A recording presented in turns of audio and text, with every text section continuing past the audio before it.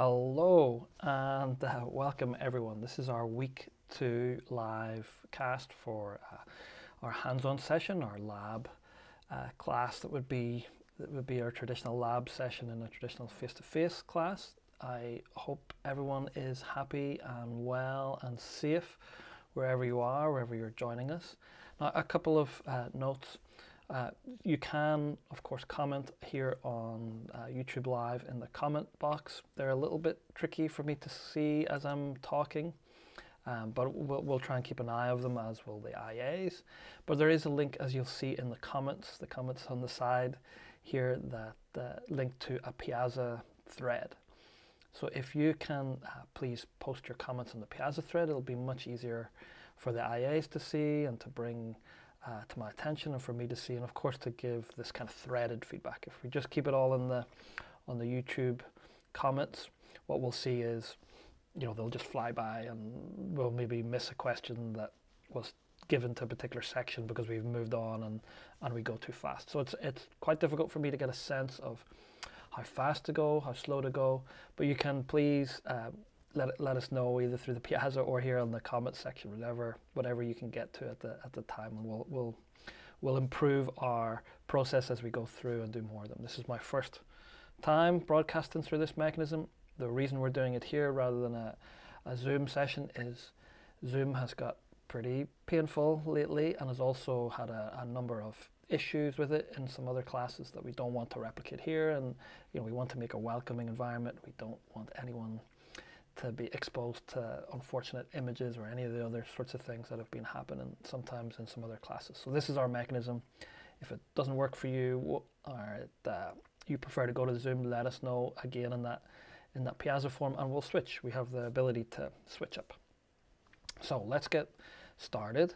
This is um, our hands-on session for week two. So please, if you can go to our uh, class website, of course, click on the schedule where we have our schedule of, of classes, our weekly content. And then we're obviously on week two. So if you can find that Welcome to Bioinformatics uh, class and click on that, you'll get to our week two content. And here I'm zoomed in a little bit. So I'm going to scroll down here and I'm going to find our lab handout, handout, our kind of worksheet. This is a PDF. So when you click on this, depending upon the browser you're using, I'm using uh, uh, Chrome here. I'll sometimes switch over to other browsers just to show you occasionally that things look different in different web browsers and sometimes work better in one web browser than another. But here in my Chrome browser, it's opened it in the browser. I want to download it. Maybe your browser's already done that and you'll find it in your downloads folder. If not, if like me, I'm going to click on this little button here to download it. The reason I'm doing that is this PDF has is a form. It's got fillable fields in it that you can add your answers to different questions and your comments and things like that. We're actually going to submit this to uh, Gradescope. We'll show you that a little bit later on. Okay, so please download this and what we'll find is, as you'll read through it, uh, there are four major sections to this lab. The, the, they're, they're kind of listed here and if we were doing this traditionally or the way I would suggest you do it, you know, when you kind of look at this on your own, it'll take you a little bit longer because it's newer to you, right? It's it's there's a new, in this case, web resources, major bioinformatics resource providers that we're going to visit, and uh, it would typically take you these sorts of time. And I suggest you structure it a bit like this. This is how I would structure it in the classroom as we were going through it together. And oh, how I wish that was the case that we could all be together and and uh, do this in a traditional way. But you know, life is not like that right at the minute, so we're going to do it slightly different. I'm going to again suggest, you know, if you are going to do future labs that you work through in this kind of way, you know, take breaks, go do something that makes you happy if this lab isn't making you happy, but stick with it. You know, it's, it's how you respond to these things that defines success in this class. For today, this would be a bit painful if I talk at you for 35 minutes. I realize that. I can't even stand my own voice for 35 minutes coming back at me on this system here. So what I suggest we do is we're going to break it down and go a little bit more quickly. So I'm going to kind of review these sections, right? So I'm going to spend no more than, it'll probably be closer to 10 minutes on each section, but I'm allotting 15 minutes here. And then I'm going to take a five minute break between them where I'll uh, try and find the questions and the comments that people have been been posting if I miss them as I'm talking because I'm not good at multitasking. Okay, but we'll, we'll take a little five minute break and ask questions, and we'll I'll both respond vocally through this mechanism and read them out and try and type as well if that's not too distracting for you. We'll see how it works. So we're going to spend around 10 to 15 minutes on each of these four major sections with a you know, give or take five minute break or time to go get a cup of coffee or, or whatever between these uh, sections. Okay? All right. Wish us luck. Let's let's give it a go. I'm going to go over to um, a different screen here. And so I've already downloaded the lab PDF. So here I am. I have the PDF open in my PDF viewer. I'm on a Mac in this case, but I have a PC I can show you later. It's just a PDF window. So let me bring my mouse. So actually that's not the right one. So I'll do it again. Uh, here I'm going to go, this is our class website. I'm going to take the lab hands-on session. Here it is. I'm going to download it. I'm going to save it. Well, I'll just save it to my downloads folder. And then replace that one. Make sure I've got the right one. And it should uh, open up. Let me go in and go to that right over here.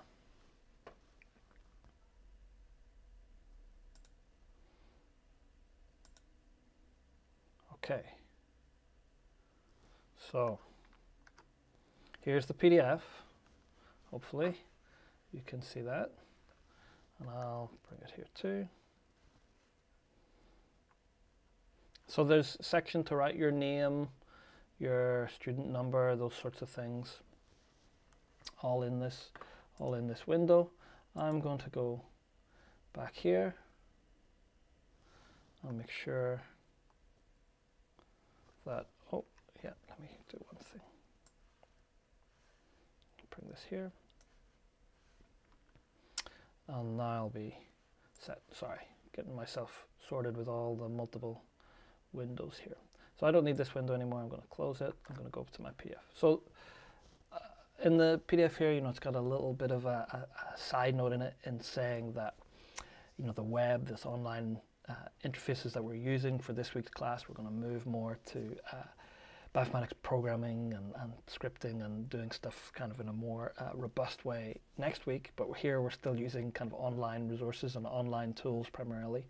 But the web is a dynamic environment and stuff changes and web pages move uh, content around and the styles of them changes and all sorts of things like that.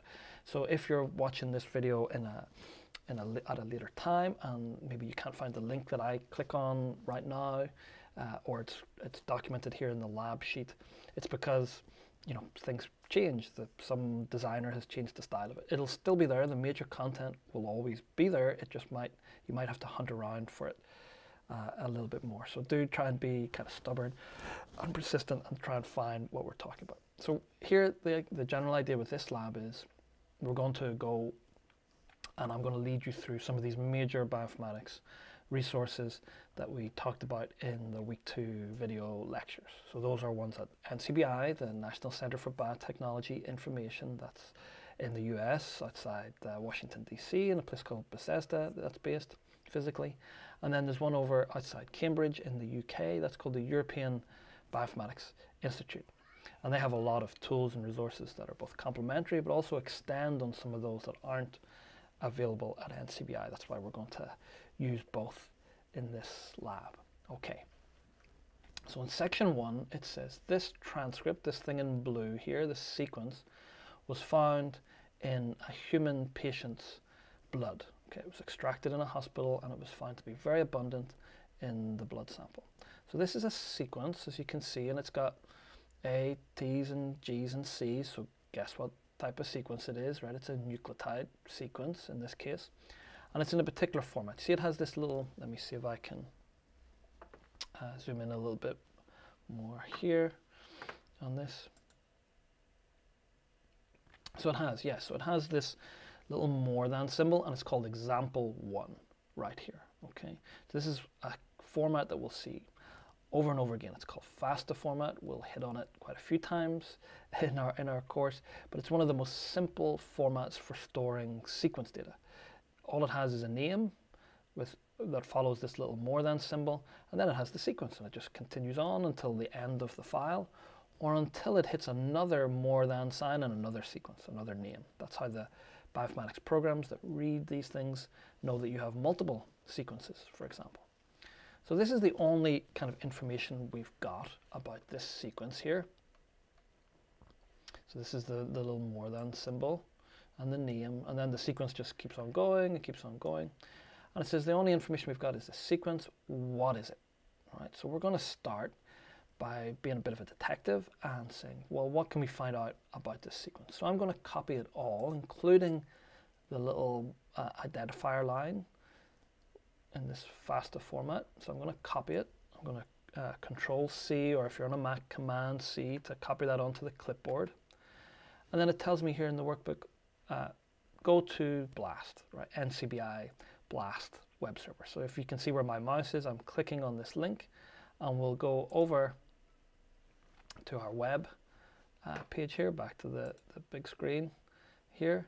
And this has opened up a web page and I'll bring this out in a separate tab so we don't have anything distracting us.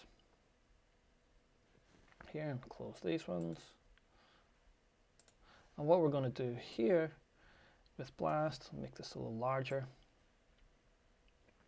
is we have to decide, first off, which version of this program do we use? So what BLAST is, is it's an alignment tool. Next week we're going to learn uh, how about this works. It's, it's a very common approach that we use in bioinformatics all the time, not just for searching databases like today, but for pretty much all next generation sequencing analysis.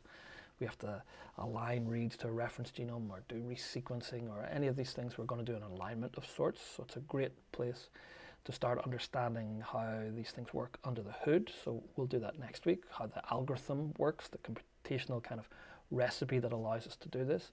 But for now, we're going to take a much more practical approach and we're going to say, well, what are we going to do with this sequence?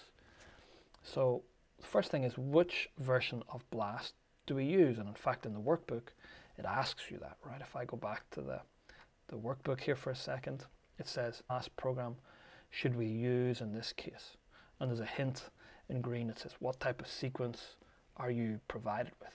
So in this case, I've already told you it's a nucleotide sequence. So we're going to pick, back over here in the website, we're going to pick one of these uh, resources and we're going to pick nucleotide blast because we're searching with a nucleotide sequence against a nucleotide database. Okay, if we had a protein sequence or other things, we'd pick one of these other variants of this blast tool. So let's pick nucleotide blast.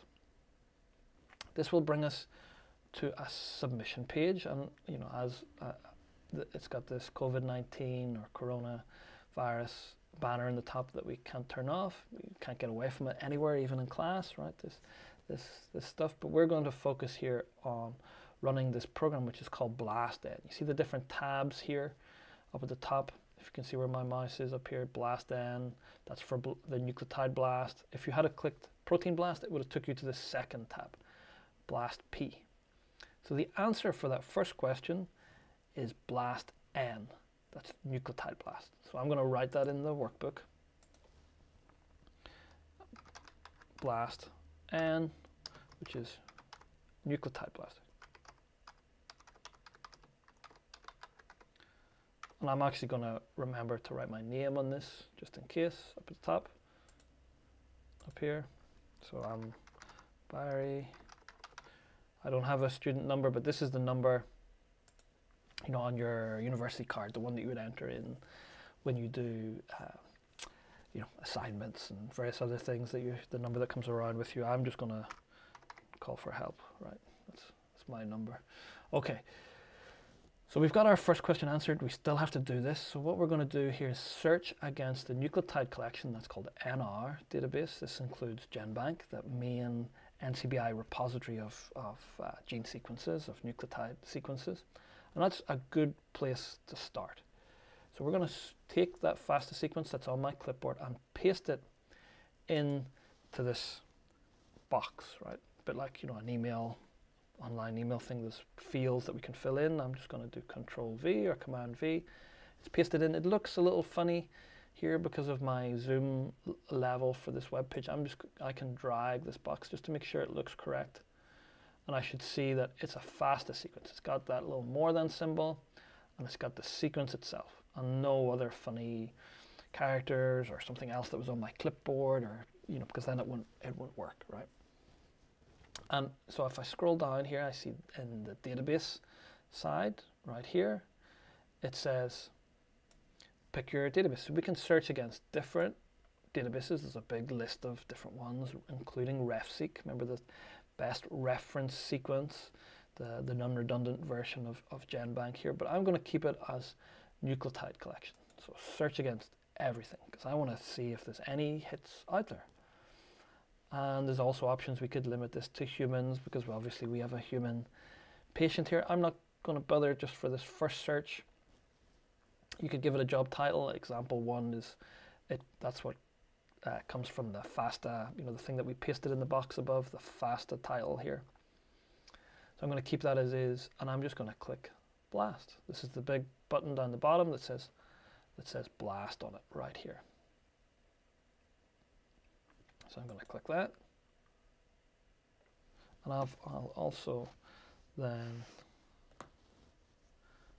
okay, so relatively quickly, and um, you know, I'm, my internet has been abused by children watching all sorts of stuff at the minute to keep them quiet on the TV, so it might be a little slow for me, but I've already got my search results here. So this is the results of pasting that sequence in and searching with it as a query against this, uh, what we call the NR database, as we'll see, or the NT, the nucleotide collection. So the first thing that's displayed here, if we scroll down, it tells you the job title.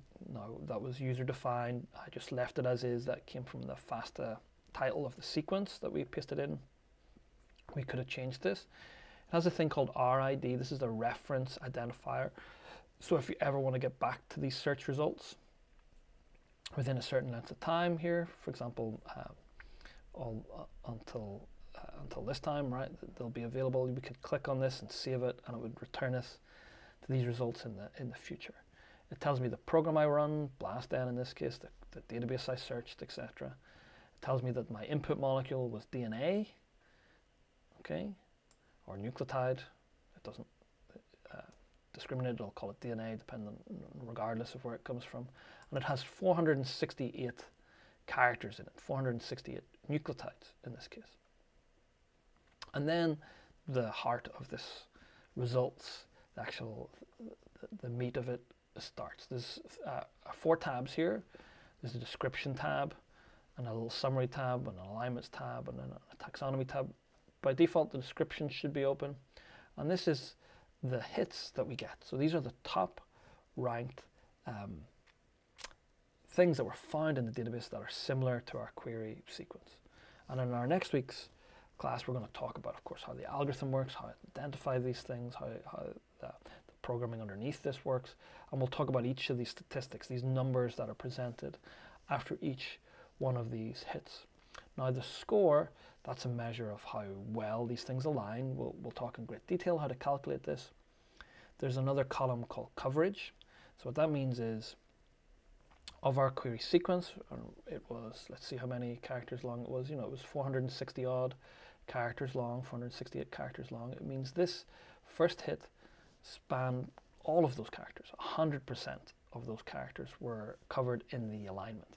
Now, if the query coverage is only 50%, it would mean that only 200 odd characters, 230 odd characters were alignable to this hit because that's it's the percentage of that input query sequence that feature in the resulting alignment. So higher numbers are better, means more of our query is covered. Okay. Then we have an e-value, and we'll come back to that next week. It's a very important parameter. It tells you about uh, how trustworthy these results, basically the statistical significance of the result of the alignment score. Another way to think of it is how likely is this thing to be gobbledygook or random old crap, right? So we'll come back and describe the e-value in detail next week. And then we have our percent identity. This means of the characters that were aligned, how many of them are exactly the same character as our query sequence. In this case, it's really good. It's not 100%. It didn't get every answer correct, so there are some differences that we'll see in a minute. Uh, so, but it's pretty close, pretty damn close. And then we have an accession number. This is the, the little tag for this sequence in the database if you wanted to go find it. So this is the first one, and it's, it's hemoglobin, subunit beta, HBB, messenger RNA, and then we have some from pan troglodytes, pan paniscus. So these are chimps and uh, pygmy chimps, and, and then various other uh, humanoid species, right? Homo sapiens, blah blah blah, beta globins, right? So the question, let's let's see what the question asked us in the in the workbook again. So I'm going to click back here. It says, what are the names and accession numbers of the top four hits from your blast search? Well, the accession numbers are over here, and um, so I could take these these accession numbers and copy them and paste them in. So these are the ones that I found, and this is uh, beta globin from human or HBB. And so I would, what I suggest here is you just write the four accession numbers. I'll do the first two, but the question is actually asking for four. So if you ask, put all four in, you'll get all the points. So here's another one. And then etc. Well, let's just do it.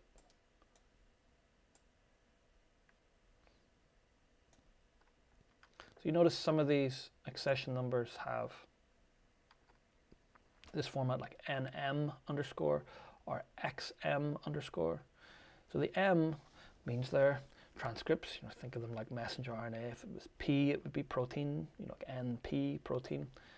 And the X and the N are telling us whether they're coming from RefSeq or actually not from RefSeq. In this case, X means they're kind of predicted sequences predicted computationally. But the NM are the good ones, the ones we really want.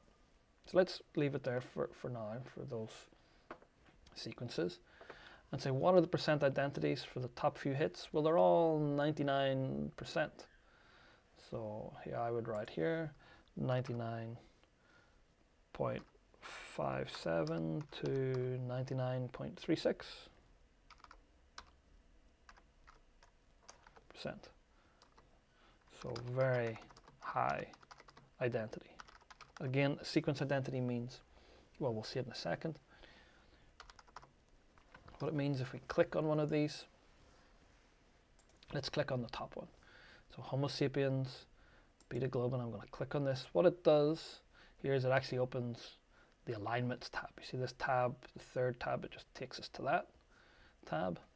So if you want to go back to the descriptions again, we'll not use our back button, but we'll just take our mouse and click on that tab instead. That will be a, a better way to drive this thing. So this is the alignment that's shown here between our queries, that was the thing we searched with, our patient sequence that we started with from our workbook. And underneath it, stacked underneath it, is the sequence from the database. Okay. And it tells us some of those same statistics up above here. It tells you the accession number, so you could click on it to go to that sequence entry in the in the database, in, in RefSeq in this case.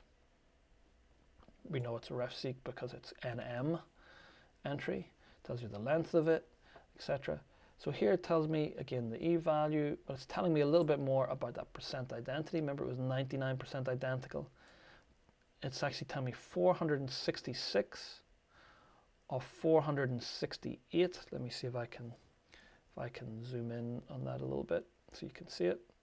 So I'm just zooming in on that line. It's telling me 466 of 468 characters, in this case nucleotides, are exactly the same. And those are the ones below here that have the dashes between them. See, it, whenever it's an A, it's got a dash to the A below. So they're identical characters. Now there, that means there are some that are missing. How many? Well, two, right? Six, seven, six, eight. So there's two characters that are different in this patient sequence and this database sequence. Where are they? Well, they're the ones without the dashes in them. I can see one right below where I'm zoomed in on here. I can see here this character. There's a T in our query sequence and there's an A in our database sequence. So this is a mutation or a substitution, a patient specific mutation here in this in this case, right? And there's another one somewhere. If I uh, looked closely enough or had enough motivation to do it, I could see, oh, actually down here in this other region, if you can see where my see where my mouse is. Let me see if I can use this pointer thing, if I can figure out how to how to use this. Okay, so here's the second one down here. Okay, in this position. And the other one, first one that we spotted but previously was right here.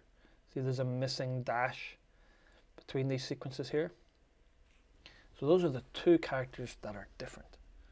And the answer to the question in the workbook is 466.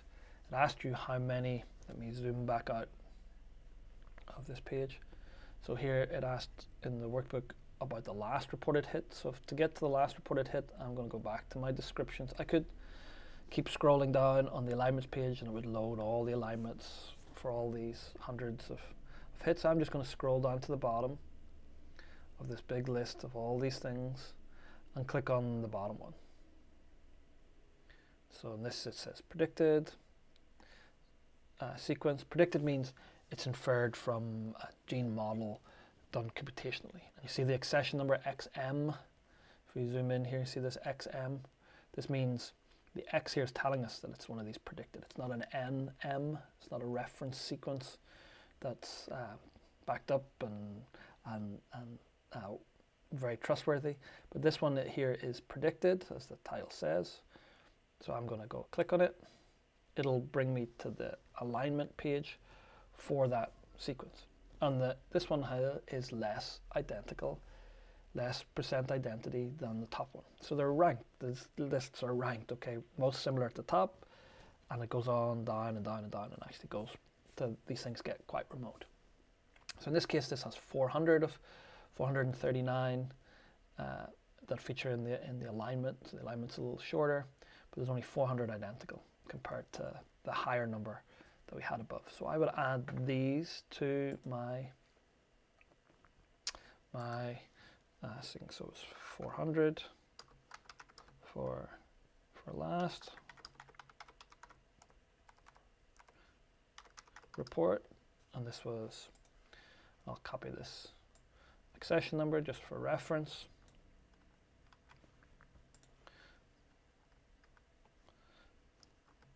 and I'll put in the top hit. I'll go back to the start here and, and, and add that. Go, uh, I could take this thing and scroll. I'm actually going to use the back button, not follow my own advice.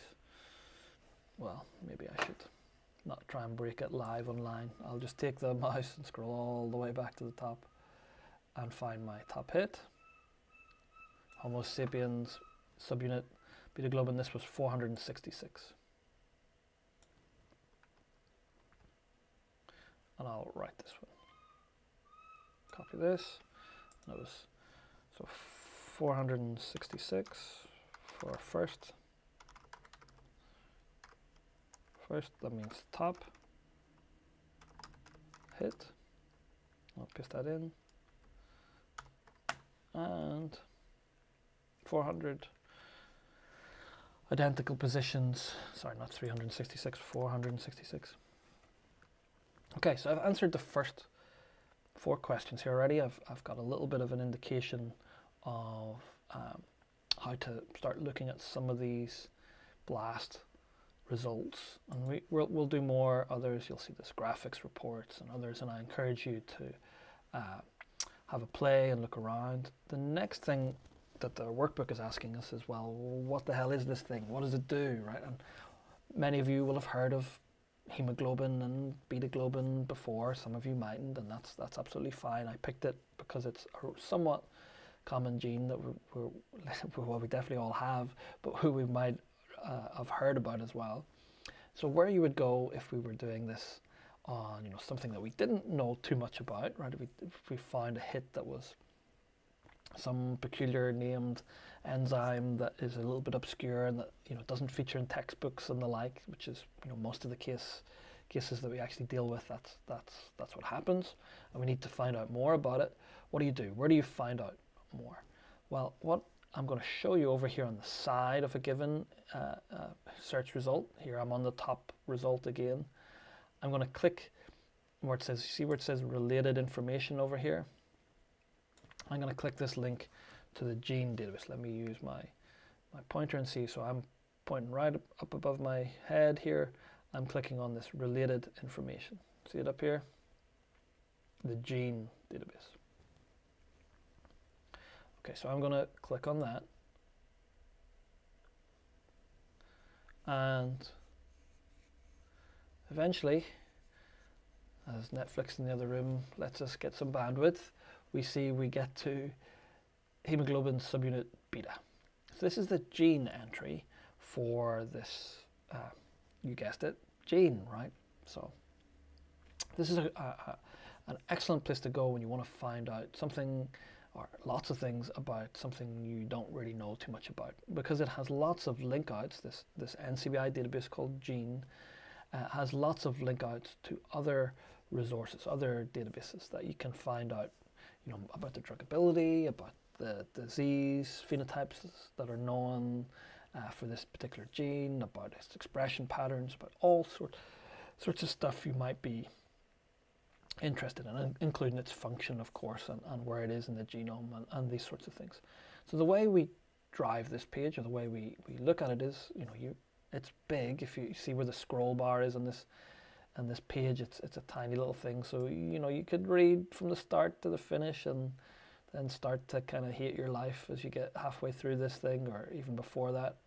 Um, the way to drive it is on this uh, navigation panel over on the, as, as you're looking at it over here on the right hand side of the page. So let's, let's before we click on this to answer the questions in the workbook, let's have a quick read. So the official symbol here, up here is, I'm going to zoom in a little bit, official symbol, that's you know what the world has agreed to call this gene, is HBB, and it says provided by the Human Genome Nomenclature Commission, that's what the HGNC is. That's the kind of uh, terminology police, right, that say, if you're talking about this gene, please call it that. Right? So everyone knows that we're talking about the same thing. Uh, that's not always the case. People often um, call the same thing different names. We're trying to get around that with this Human Genome Nomenclature Commission to standardize naming schemes. And its official full name is hemoglobin subunit beta, etc. And so there's lots of things here, you know, it's from the lineage where it is, right? It's in Homo sapiens and all these other uh, bits here in the summary. The alpha and the beta loci determine the structure of two types of polypeptide chain in adult hemoglobin. So there's an alpha globin and a beta globin that you might have heard about before. So, and we could keep reading. This is this text is a bit like the abstract of a published paper, right? So it's written by humans, and humans, you know, can write well and they can write obscurely. It just depends. You know, this one's not too bad, right? So we could read all this. Now, the questions that are going to orient our exploration of this gene database are in the workbook. So, question five. What's the official symbol and official full name for this gene? Well, that's, I've just read that off, right, from the book, from the thing. It's HBB and hemoglobin subunit beta. HBB. And that's, let's just copy it in because I'm lazy, I mean efficient. Okay, what chromosome location is this gene located on?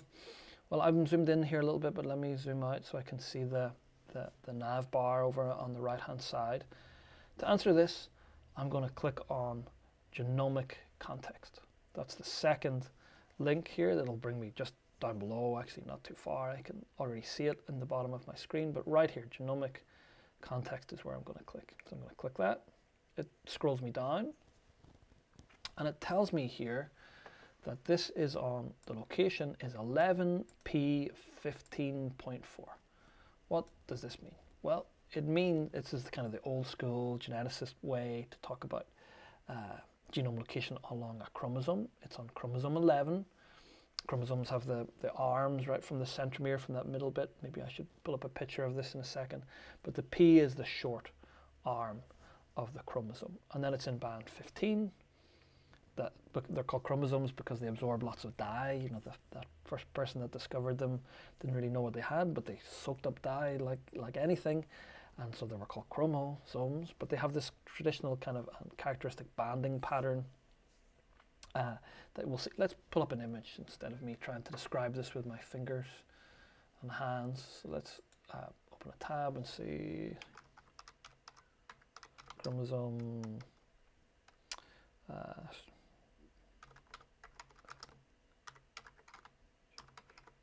I'm just searching for chromosome structure, banding pattern, just to pull up some kind of image. So here, let's let's pick one.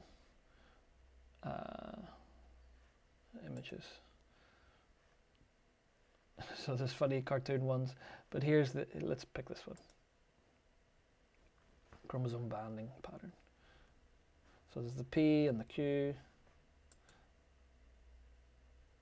This is someone's someone else's slide. It's going to load here eventually. Oh, it's a video. Screw that. Let me just zoom in on one of these.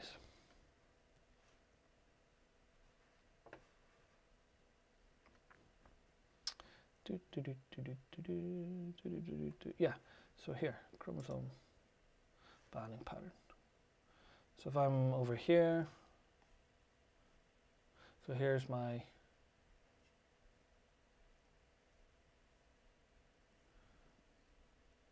P arm, the short arms of the chromosomes, all going from the centromere. The, the Q arm is the longer one. And then we've got our, these characteristic banding patterns here, and we are on, uh, and we just count these down to find where we are actually physically located on the chromosome. Okay, so that's a bit of a side note about what that means. Now, um, so we're in the fifth, uh, chromosome 11, 15.4, and we've got three exons. Why do you think it doesn't list the number of introns here? Well, because there's an intron between every exon, so there should be two introns and three exons. Let's scroll down a little bit and we'll see this in this graphic region. So here is the genomic regions and transcript products. Here's the structure of this gene. So this is the actual coordinates along chromosome 11. You can see there's numbers that are here like uh, 5,222,227,200. This is the coordinates that we kind of use now uh, because we have the sequence to go to rather than the banding pattern. And we can see here that there's uh, exon 1, exon 2, exon 3, and in between them the thin lines are the introns. If we scroll down a little bit, we'd even see the RNA-seq data where, where these reads map to the exons, the protein coding regions. Exon 1, big peak, exon 2, big peak, exon 3, big peak. And the introns, 1, 2. Where I'm looking at is, let me make this more clear. Here's the exons, 1, two, three. And here's the introns and below it. One, so I'll go to the start, one, two. And that's shown in this kind of uh, almost genome browser-like display. Now there's lots of other things here presented about the functional regions in this gene that we're going to ignore for now. We'll come back to these uh, what are called tracks when we get into our genomic segment of the course and we deal, uh, delve into genome browsers a little bit more. But this, this is the kind of information that's provided here. So there's three exons, it's from chromosome 11, two introns.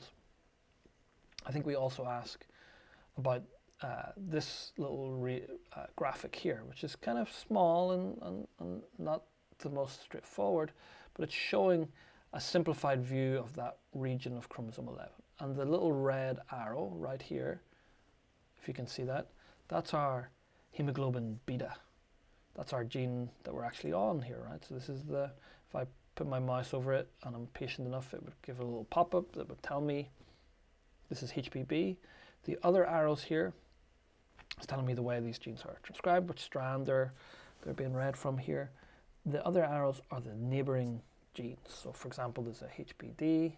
If I went over this, it would tell me, and if there was enough um, scope for me to zoom in and see this. I'd like you to do it yourself. This is the little pop-up tells me this is hemoglobin subunit delta. And if you actually clicked on this, you would go to the gene entry. That's the same page that we're on now for the beta globin, but would go to the gene entry for that gene, and you could find out more about it. So if these are the neighboring genes, there's other ones like this OR51V1, this is an olfactory receptor, family 51, subunit 5 member. So these neighboring genes, we'll list a few of them. There are uh, the answer to question 7. So what chromosome is it located on? Chromosome 11. Neighboring genes, this HBD and uh, the olfactory gene, you could write some others there. How many exons? Three exons and two introns. Okay. What's the function of the gene? Well, you might know the function, right? We, we probably many of you do, and we could read it from here. You know, mutant beta globin causes sickle cell anemia. It says here. Um, absence of the beta chain causes these things called thalassemias. These are all diseases associated with this gene. We'll come back to that in a little minute. But this, as I've said uh, just a minute ago, this is like an abstract of a paper. It's, it's, uh, it's written by humans. What I suggest you do here is use this sidebar and click on gene ontology. That'll scroll you all the way down the page. We'll come back to talk about what gene ontology is in a moment. But this tells you about all the functions, the biological processes like oxygen transport, and components. Where is it? Like it's in the blood, it's in the cytosol. So here we can see that this thing is involved in oxygen transport and a few other uh, functions as well, like renal absorption, platelet aggregation, blood clotting, all these sorts of things. It's involved in oxygen binding, uh, heme binding, that's a portion of this hemoglobin unit. What these things are, this ontology, it's a controlled vocabulary that we use to describe functions and processes and locations in this case. It's useful because humans all write differently, uh, and these things are much easier for a computer to parse and understand if you use these controlled terms. So we'll come back to ontology and use it a lot when we go and analyze our own high throughput experiments later in the course because we'll often want to get functional annotation for them and rather than going and reading you know tons of scientific papers which of course is probably good for your soul but not maybe good for your mental state sometimes we can use this ontology to get a much more succinct and controlled way of describing uh, functions so in this case I'm going to write oxygen binding heme binding these sorts of things in this box and then finally, question 10, and then we'll take a well-deserved uh, break here. Does this protein have a role in human disease? Well, yes, I've already saw that, you know, the sickle cell disease that we'll find out more about, and these things called thalassemias. Where could we find this? In our gene entry, I'm going to go back all the way to the top of this page, and here I'm going to click on phenotypes. So back on my navigation menu, I'm going to click phenotypes. This will take me to a subsection of this website that deals with phenotypes, things like diseases that are associated with this thing. So here, there's uh, alpha thalassemia, beta thalassemia, uh, fetal hemoglobin stuff, HBSS disease. This is our sickle cell disease.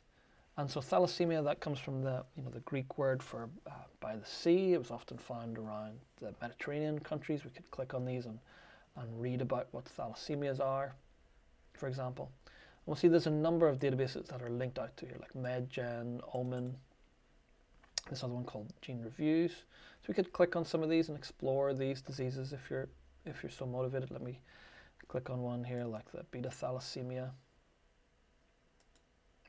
It brings up this OMIM database.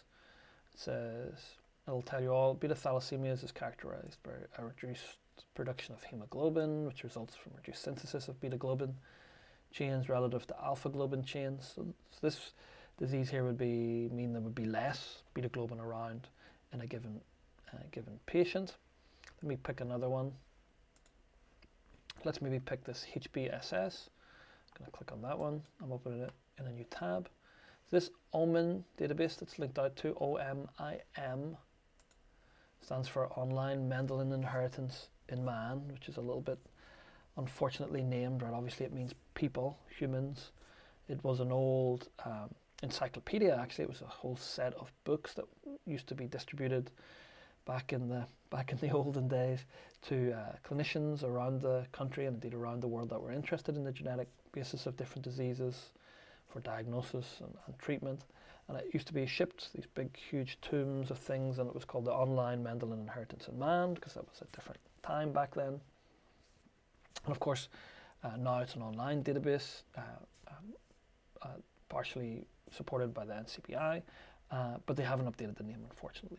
It, it, they should, but, it, but it's not. So here I'm, I'm looking at sickle cell anemia. It tells me it's on chromosome 11, P15.4. This is our beta globin gene, right? There's our HBB gene, and we can get a, a, description of it. Sickle cell anemia is a disease associated with episodes of acute illness, progressive organ damage, hemoglobin uh, polymerization leading to the rigidity and the malfunction of these red blood cells. So we can read all about uh, the clinical features, the description, and then you know, link out to animal models and cell lines and things that we might want to use to study uh, this disease and, and, treatments for it, of course, if, if that's the way you want to go. But by this stage, what, what I'm going to do here is we're going to come back to these kind of resources. There's a wealth of information here, but we're going to uh, limit ourselves now for section one and, uh, and say that uh, yes, we have sickle cell anemia. So we're going to paste that in and both and, uh, and, and beta thalassemia. And I've got that open here. As well as as well as some others. As long as you list these major ones, we'll get the we'll get the points. Okay, so let's uh, take a break here. That took a little bit um, longer than I was expecting because I'm answering the questions for you. So maybe in section two we'll go a little bit. Um, we'll take a different uh, different approach, and I'll not answer them all for you. But we'll we'll also just highlight the major learning goals in, in these things rather than me talking at you for so long. But let's take a little break now. It's on my clock. It's ten uh, forty-eight. So let's take a little break. I'll pop over to um, to our Piazza site and see if there's any questions. Let me see if I can add a comment here. So how are we doing for for speed? Any questions that they, that have not been answered?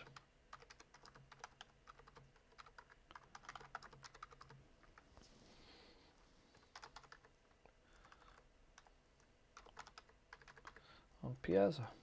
So I'm going to go have a look.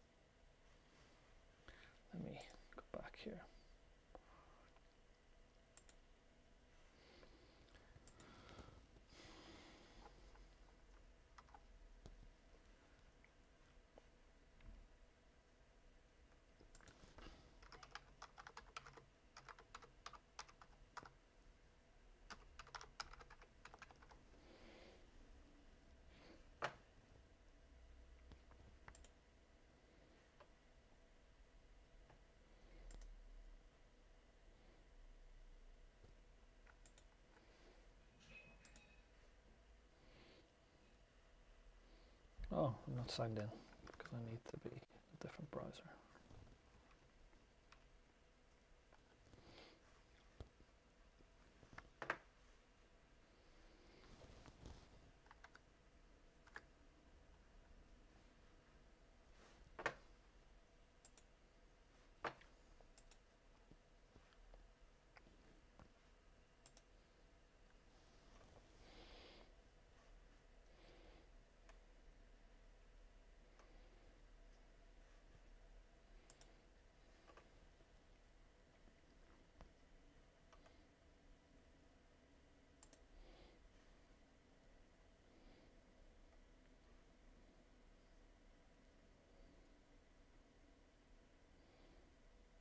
Cool.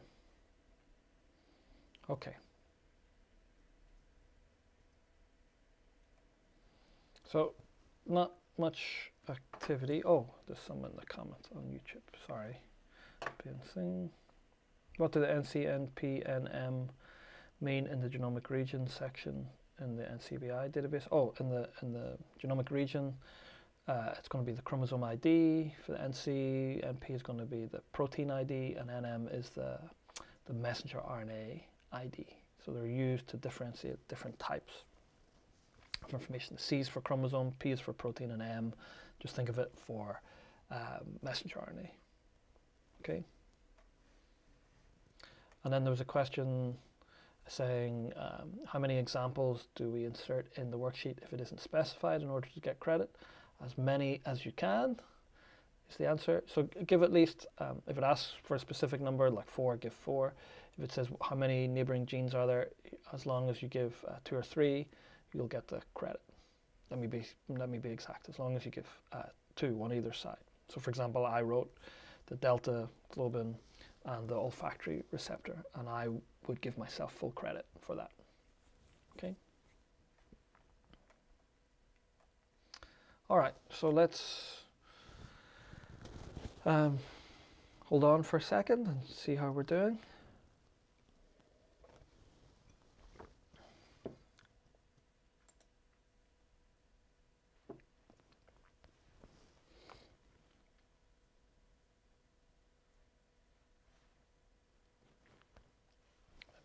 see.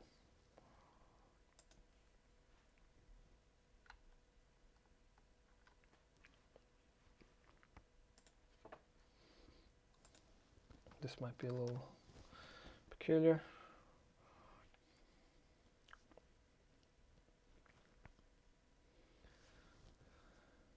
Okay, I'm still still alive.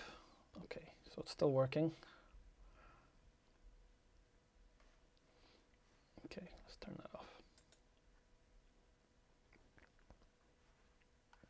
Okay, let's have a look and keep going and we'll get into section two. Okay, so let me go over here.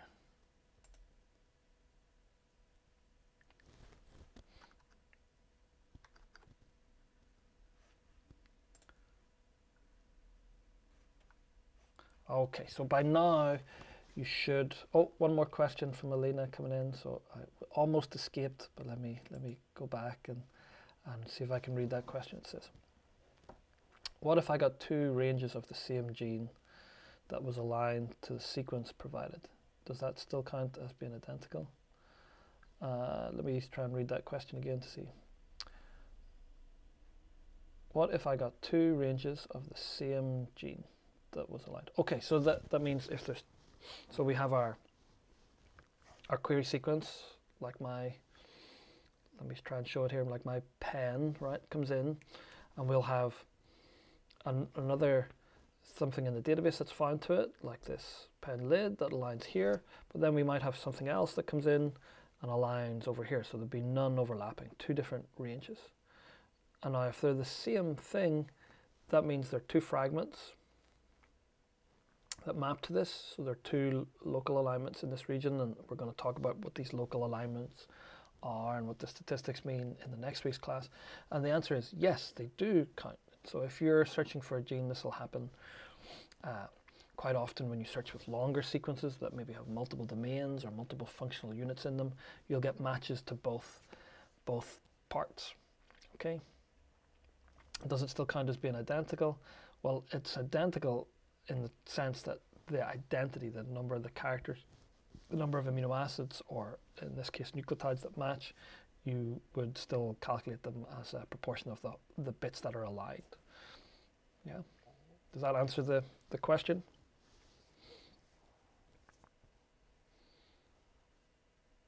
It says it's on Piazza, so I'd have to go back to Piazza to make sure.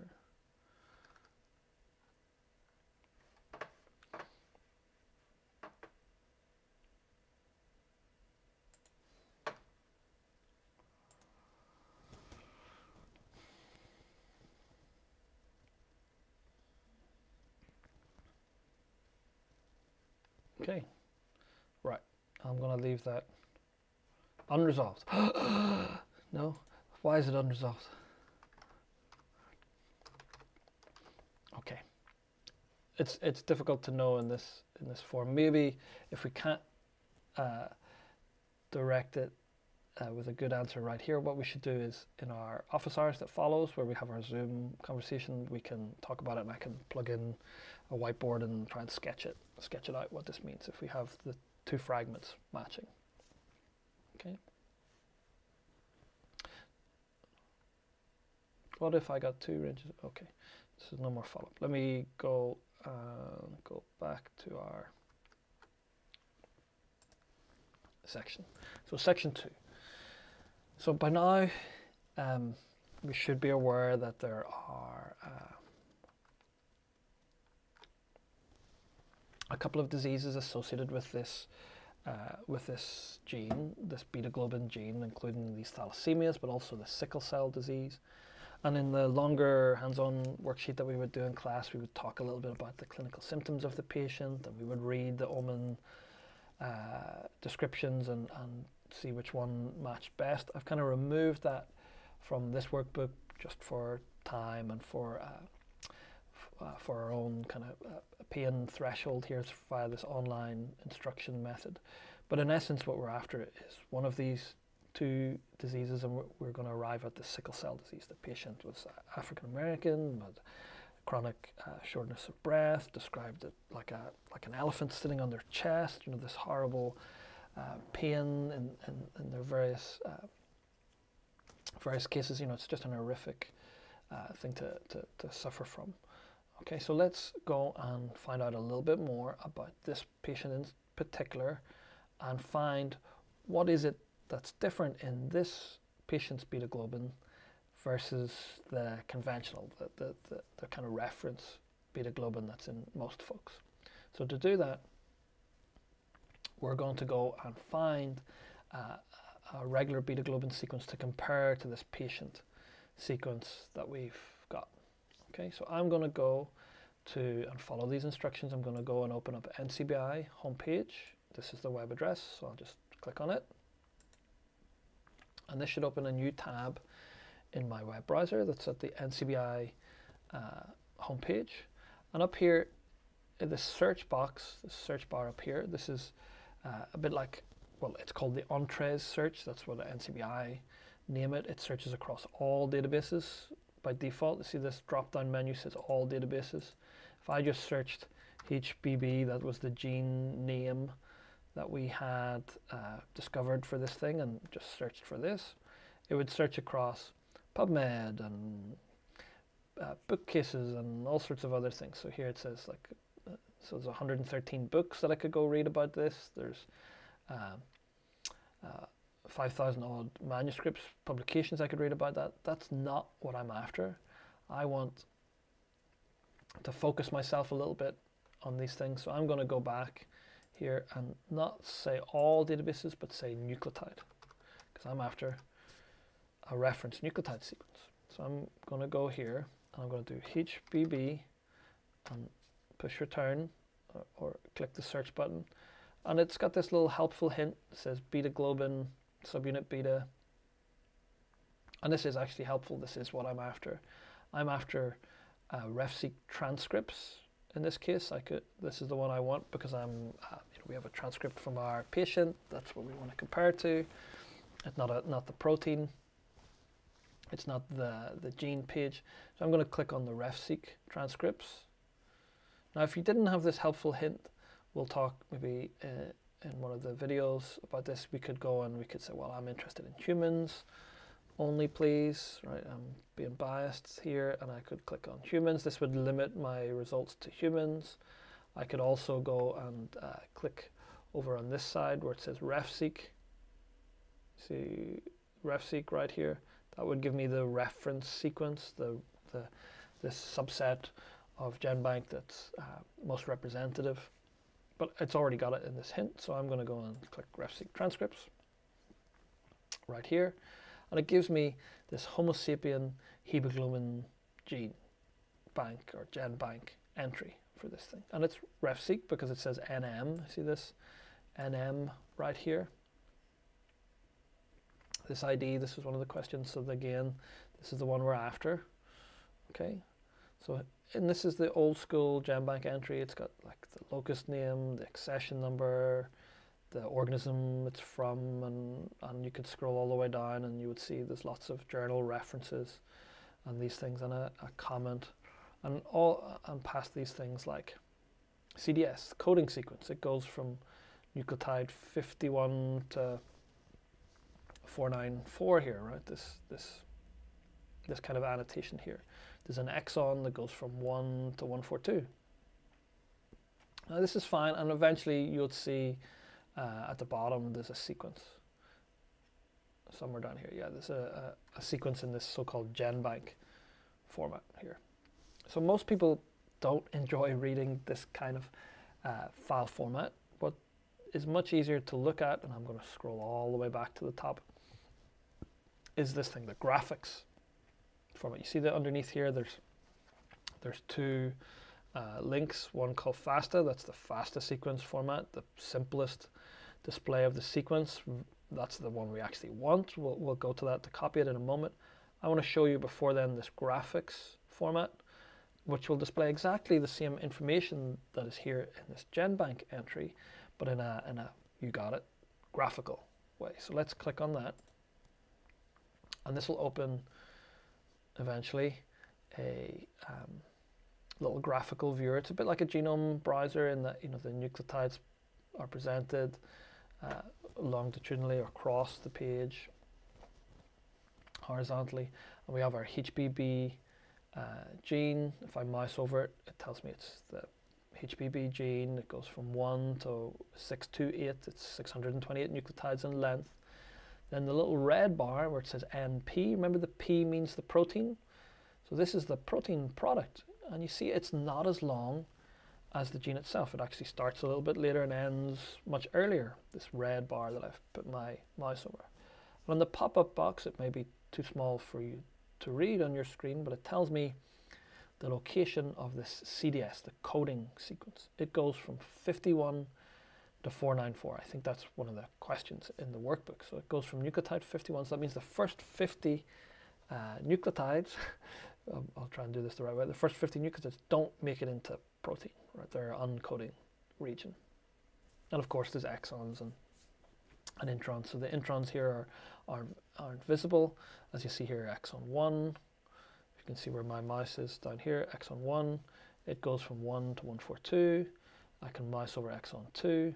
It tells me it goes from 143 to 365. It's 223 nucleotides long. The introns are spliced out. And then finally, exon 3, it goes from uh, nucleotide 366 to 628. Okay, so this kind of information is also shown in the gen that uh, kind of ugly plain text thing that we saw first. This uh, web page just renders it into this little graphic view. So either way, whichever way you want to get it, you'll find the the positions of the exons, the, the coding sequence, either from the GenBank entry or this graphical entry. So that that can help answer some of those questions. You know, what's the what's the accession number? Well, that's the thing up at the top this NM058. So we put that in here. And we've already got to it the helpful hint. What are the numbers of the first and last base position of exon 1? Well, that was, if I mouse over here, this was 1 to 142. Oh, what are the numbers of the first and last base position of the coding sequence? That was the red one, the CDS. So that's 51 to 494.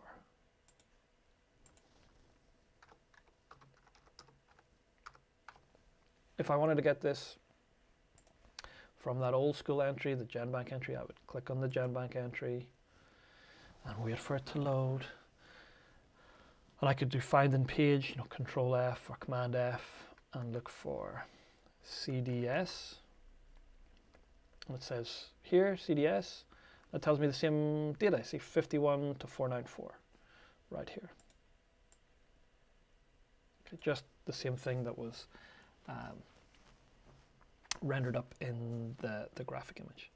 Now what I need for the next sections or for this main section is I need the sequence. You know, show me the money, right? Show me the sequence.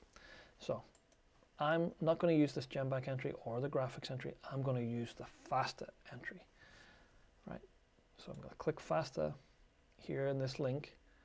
And what I get is the FASTA sequence entry. See, it looks very like the, well, in terms of format, it looks very like the one that you were provided with in our workbook that we started with in our PDF. It's got the little more than symbol and a name. Let me zoom in here.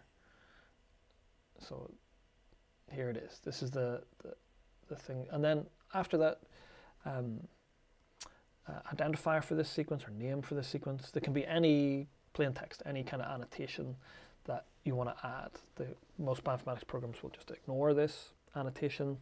Uh, in fact, nearly all of them ignore it. They'll take the name and then they'll go to the line underneath, and that's where the good stuff starts. That's the sequence. Okay, so we want to take this whole thing and make sure, please, to take the identifier line. I'm going to take all of this. Let me zoom out so I can make sure I'm getting it all.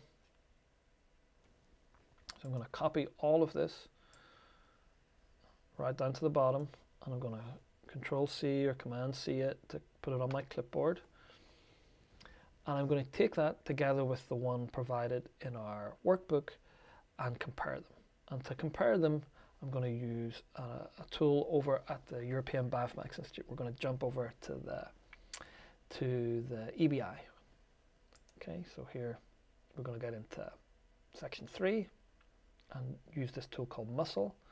So I'm going to click here. This will open up the EBI website that's shown here. You see it says up at the top EMBL EBI. This, this is the European Molecular Biology Laboratory.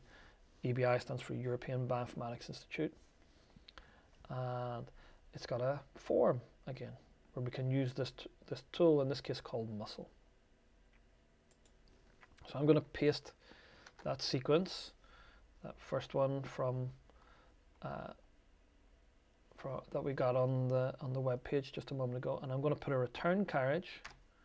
So I'm going to give it a new line and I'm going to go to my workbook and paste in the patient sequence. Remember the sequence that was in our right at the start. So I'm going to go back to my my preview. I'm going to take my workbook and go back to the start and copy this. Make sure you get the identifier line, that line with the the um, the little more than symbol in it, please. Okay.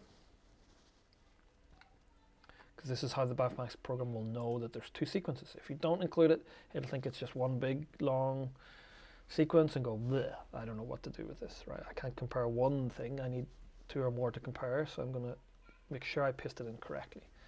You can always uh, drag this window down to make sure you've pasted it in correctly. So this is what your input to this program should look like. If it doesn't look like this, it ain't to work. Okay. So the bioinformatics program again will say, oh, I've got a sequence. Okay, boss.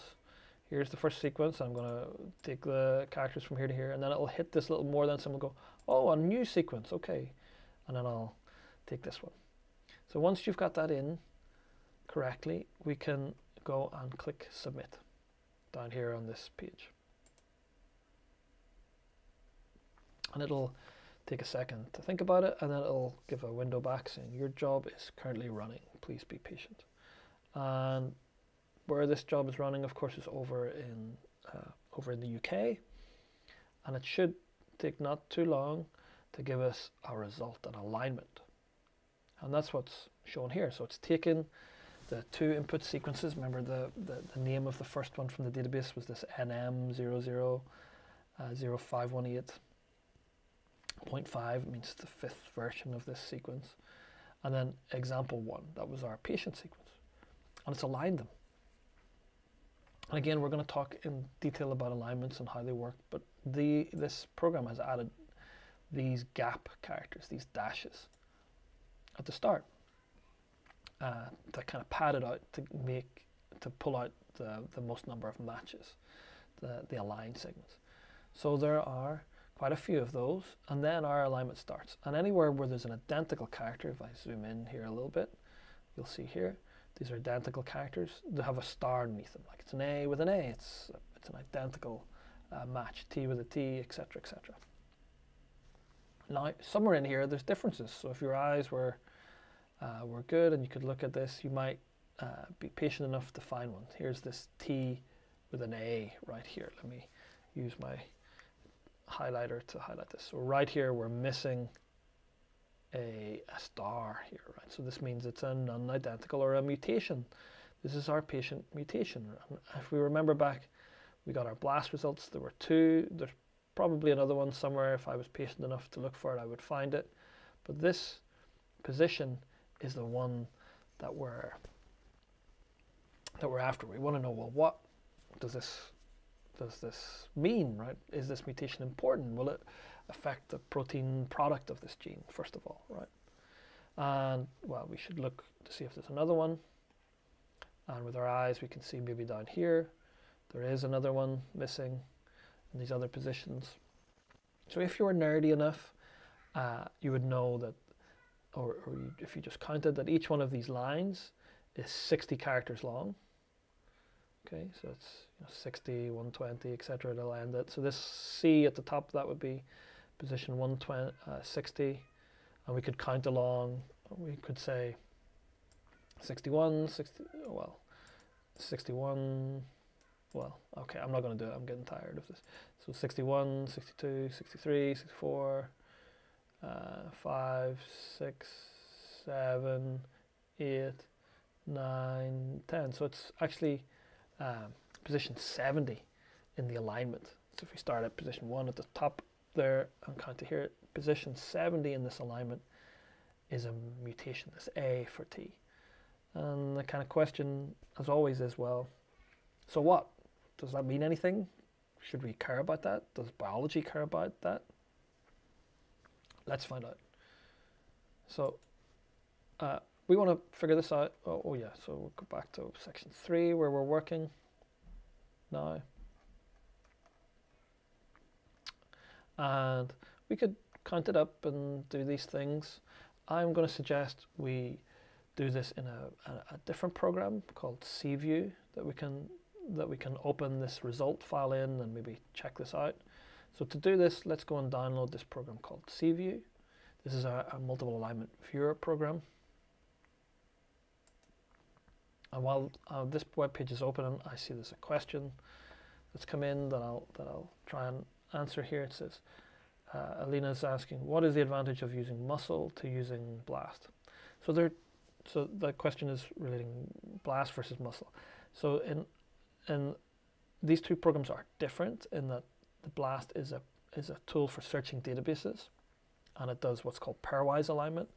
Muscle is not for searching databases. It won't find anything for you, you provide input to it that's curated and, and uh, we know about, for example, this reference sequence of what a real uh, healthy beta globin looks like and this patient sequence, and it'll do alignment in the targeted way, and it'll also do multiple alignment. If we give it many, many more sequences, like those sequences from from chimpanzees and orangutans and all these other ones, it would align them all up one underneath the other. So the big advantage of muscle is that it's a multiple sequence alignment program. It's not a pairwise alignment program for doing database searching. So they're, they're different purposes. They have different uh, jobs to do. One is to go searching uh, and find things that are interesting, and then we'll take those results and often do a muscle alignment on them after because it'll do a, a, better job of that kind of alignment and show us uh, more details when we want to compare just more than two things. You remember in that blast result, like if we still have one open here, these alignments were all query versus subject, query versus subject, query versus subject. In muscle, we can have lots and lots of sequences all compared together, all in one result. In, in our case, we're just doing it for pairwise alignment, but it gives you this format that we can take and put into uh, all the tools that we'd use to analyze you know, families of sequences, these sorts of things. And that includes SeaView. So depending on the type of computer you're on, I'm on a, on a, on a a Macintosh or a Mac computer, I'm going to click this one. If you're on a Windows one, uh, click the Windows one, of course, or Linux. you know what to do here.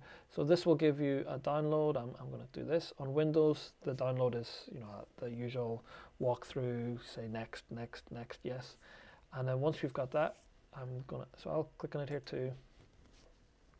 Uh, do you want to download this? I'll say allow. Yes, thank you, and that will go off to my downloads folder eventually when it's finished, and I can open on Mac. I'll just open the SeaView program from there on Windows, you'll have an executable that you'll that you'll get from the Start menu, and we can open that up once it's finished. So I'm going to take a second while that's uh, setting up to go back to the muscle page and download this file. See there's a big button here that says download alignment file. We want to get this onto our computer so we can open it in the SeaView program to view it in a little bit more detail. So on my web browser, uh, some web browsers, you just click on this, it'll just download a file to your downloads automatically for you. On my web browser, I think it does that. Let's no, it doesn't. It's not smart enough. What it does is it just opens the thing that I wanted to download in a new tab. This is a text file that's just opened in the web browser tab. So to actually get this on my computer, I have an extra step to do.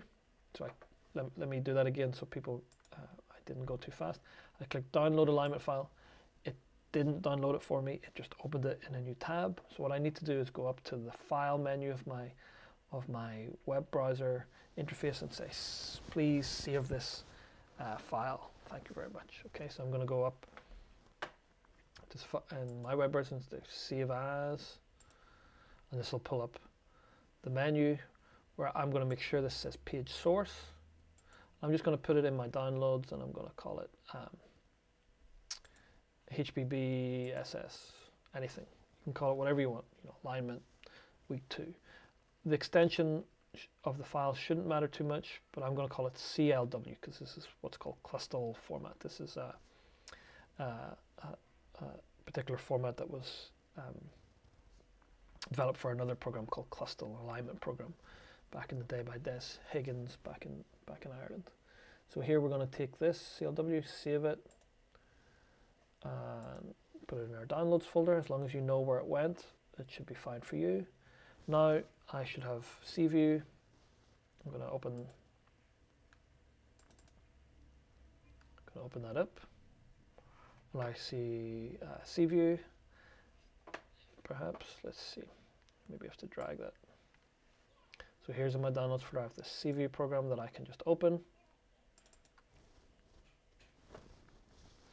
I'm going to say yes, please open. And this opens, although it's opened in a different window, I'm going to uh, drag that right here. So this opens this program called and it's a little bit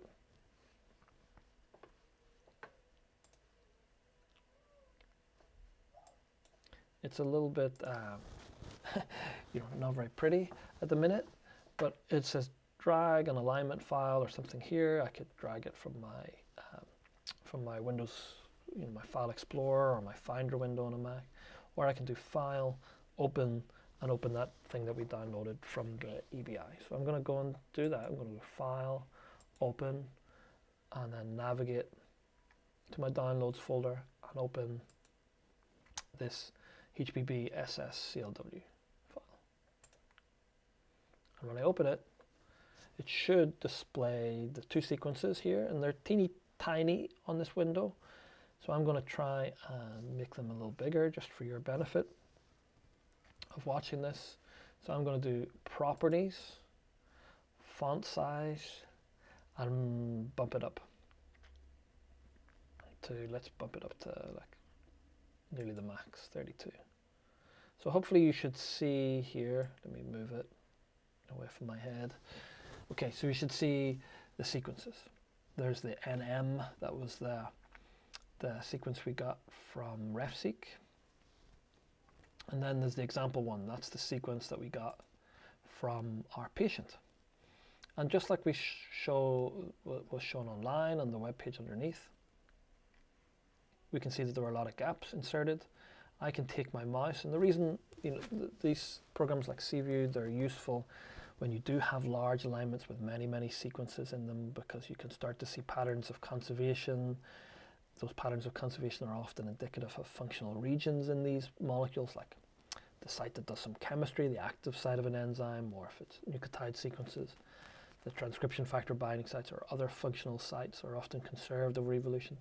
In our case, these sequences are mostly the same, right? So it's not as easy to view, and we've only got two of them, not thousands or hundreds of them like we normally have. So it's less kind of informative, but what I'm going to do here is just use this program as a dumb counter. I'm just going to use my mouse and say, well, where is that first character? So I took my mouse and I just clicked on the first character here where we don't have gaps. And it tells me, let me uh, use my highlighter here, it tells me that this is position 51. See this, this thing right here? It says 51, so that means it's 51 characters from the first one of the alignment uh, and then it's number one, it's the first nucleotide of that example one sequence. If we went up and clicked on the one above, it would be 51, 51. See, it says if I've clicked on uh, the first sequence and it tells me 51, 51. So it's the 51st position in the alignment, and it's also the 51st uh, character or nucleotide in this sequence, this NM00518. I'm going to click again on the second sequence and it tells me, yeah, still column 51, but this is in this example one, the patient sequence, number one.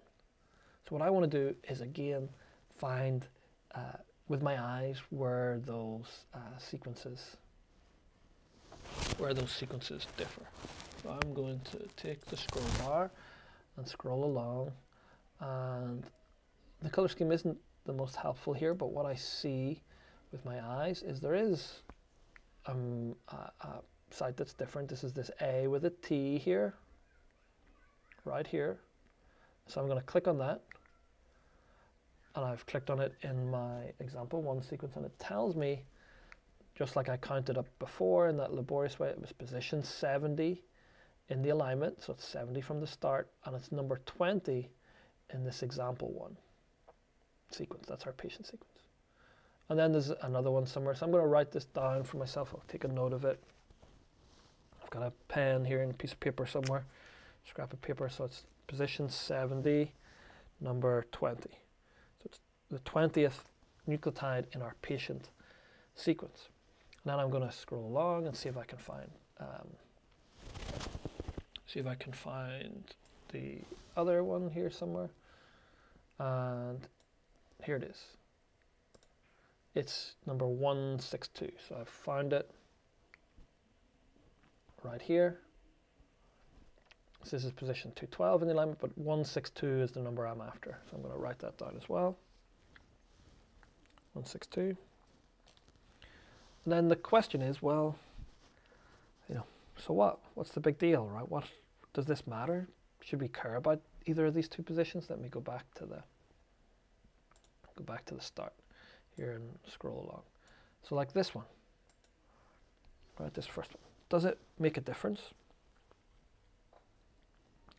Well, to answer this, we have to think about, you know, what is the functional unit of this gene? It's the protein that's produced, right? It's this beta globin uh, protein that comes from this gene, and that goes together with alpha globin to form hemoglobin that carries oxygen around the blood, uh, or sorry, carries oxygen around the body, right, in these red blood cells, these erythrocytes.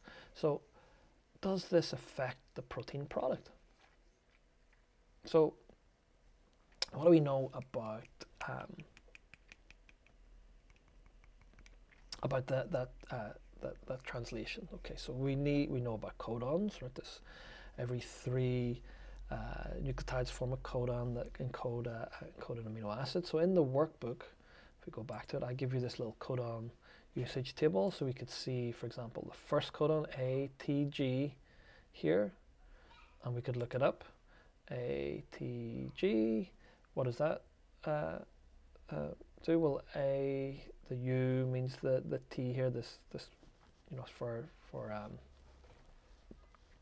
for, for the table that we have, we have the first base position, the second base position, the third base position, so we're going to look at A, and then the U would mean the, the T. So this is a methionine. This is our start codon. So the first amino acid of this gene is the methionine. That will often be you know, post-translationally removed. You know, methionine is often the first uh, amino acid of these genes and it's often cleaved off these things. Let's see what the second one is. So that's methionine.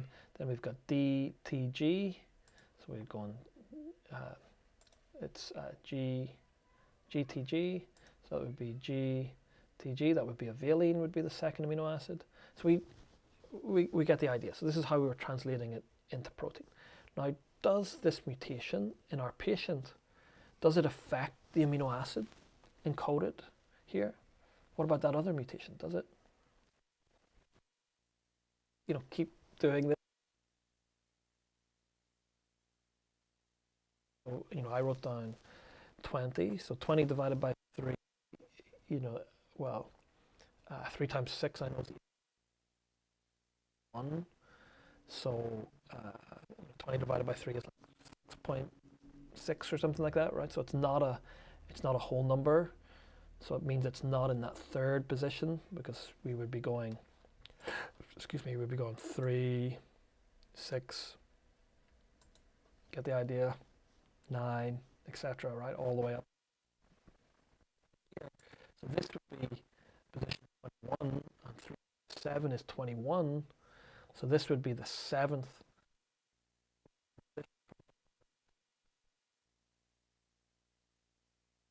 Hold on.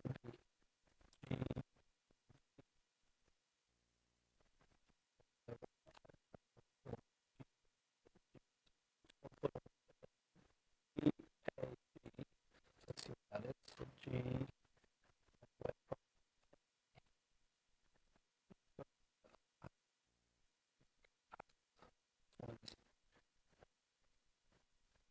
Residues get charged, residue with the one letter amino acid code of an E, right? And what is the mutant? Well, it's in the second position, so it's a GTG. So GTG, so it's over here, it's a valine. So it means it's, it does affect the amino acid produced. It, it actually changed it from an E to a V, right? So there's a substitution at the nucleotide level that results in a change of the encoded amino acid in the protein. And then the question is, well, so what? You know, is that a big deal? Well, it turns out this one is a big deal. We'll, we'll find out about it in a minute. Now, so I'm going to write that down. So this was, uh, this is going to be in the second position of the codon because it's it's you know it's not it's in that 21 between 18 between 19 19 20 21 would be the codon.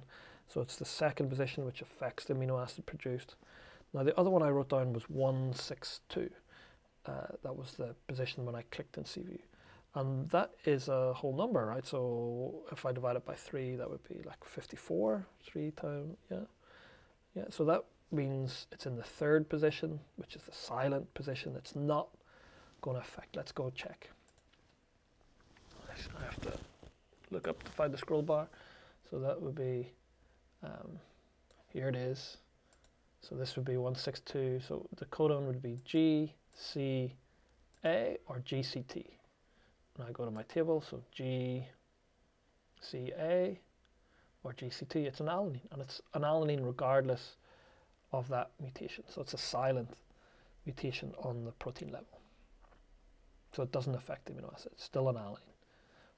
There's a way we could do this in SeaView, you know, rather than doing that math, if you're not comfortable with this math, just division, we can do properties. I think if we do allow, seek addition, well, you see here it says view as proteins. This is not going to be that helpful because they're out of reference, right? You know, it doesn't start at the start of the, the coding. So if I do this, it changes it to amino acids, but it's wrong. The program isn't sensible enough to do that. So let me turn that off for a second.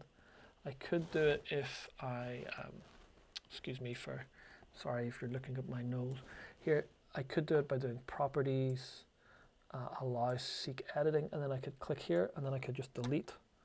Oops, that's not what I wanted to do. So I need to select both sequences here, and then I could do delete. So I'm going to delete them all the way back to start. You don't have to do this. You know, the math does it quicker. We'll actually see when we learn how to code in the week after next that there's one line of code or two lines of code could answer this for us. But we're kind of haven't learned that yet, so we have to figure this. And then if I do view by proteins, I can see here's my mutation, E for a V, and this is methionine, the first position that will be cleaved off, so it will be position 7 minus 1, which is 6, so it's going to be an E to a V, which is what we figured out manually as well. I could go across and I can see that there's nothing in position 54, I don't even know where it is now. It's somewhere else uh, in the sequence. There's no other amino acid change in this thing. Okay, so that's kind of a side note. You don't have to do that in SeaView. Doing the math answers this question for us in the workbook. So here it is. How many gap characters were inserted? That was 50 because the thing started at 51. What's the difference between the two amino acid sequences? Well, uh, between the two sequences, there are two positions.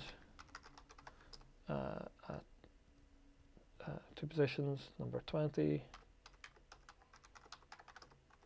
20 and 162 that differ.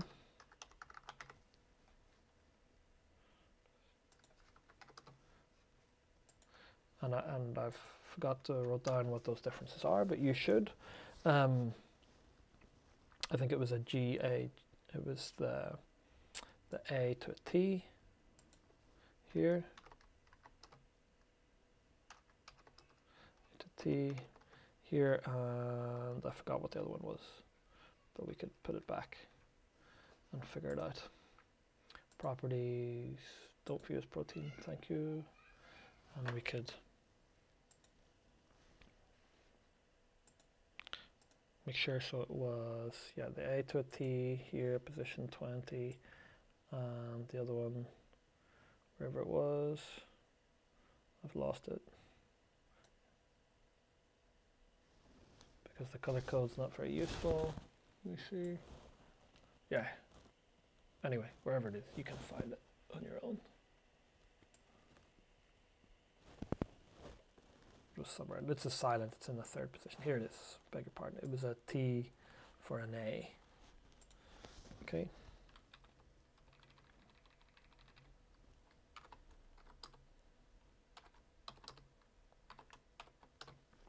which codons do they affect? That's uh, it's going to be the seventh and the fifty fourth. That's what we figured out. So we'd write that in. What amino acids do they uh, do? Well, it's going to be an E to a V at position seven or six when we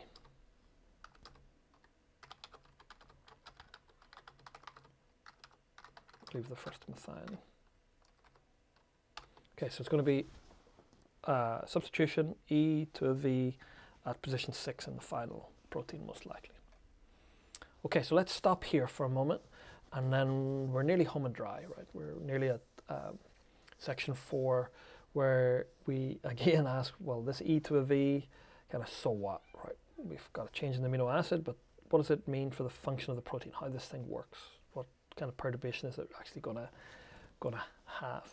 So let me take a, a, pause for a minute and see if there are any questions or anything that Alina or or uh, Hangxing wants to draw my attention to or, or that you watching have, and we'll we'll figure this out.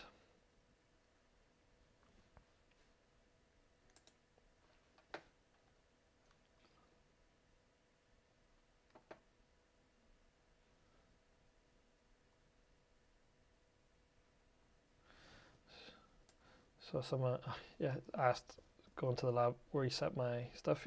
It's important that you download your PDF. I stressed that at the start of the video. You need to download it and save it as you go along. If you're doing it in your browser and you reload the page, you're screwed, right? Just like a web form. When you accidentally reload it, it's going to lose all your work. So that's why we have the PDF, so you can download it. Sorry. That must be painful. Okay, I don't see any other questions and I don't see any on the chat window. I'll just hold on for a second and see how we're doing.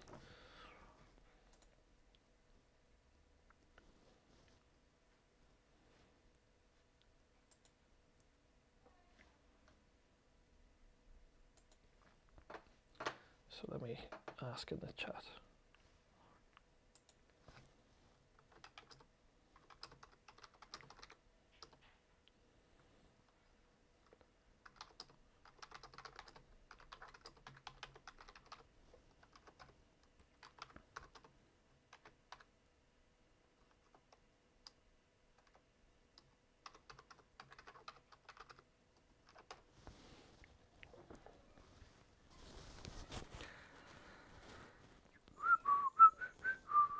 Any questions outstanding?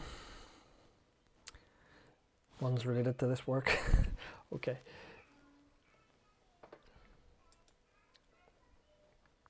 So we're on to, uh, you know, we're on to the last kind of section four here. This is the, the we're going to um, go and look at the structural context of these things in, uh, in the PDB database, and we're going to use this viewer called NGL. So let's finish up and we'll spend 15 minutes here doing the doing the last section. There are same questions on Piazza. Same questions or some questions? Okay. So I'm just reading the chat window. Let me go look. Some questions on Piazza. What's CDS's relationship to the gap characters filled? You tell me, right? I'm not going to answer all the questions for you. What do you think?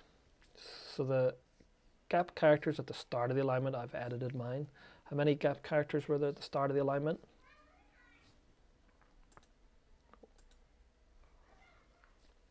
Let me uh, go back to the window here.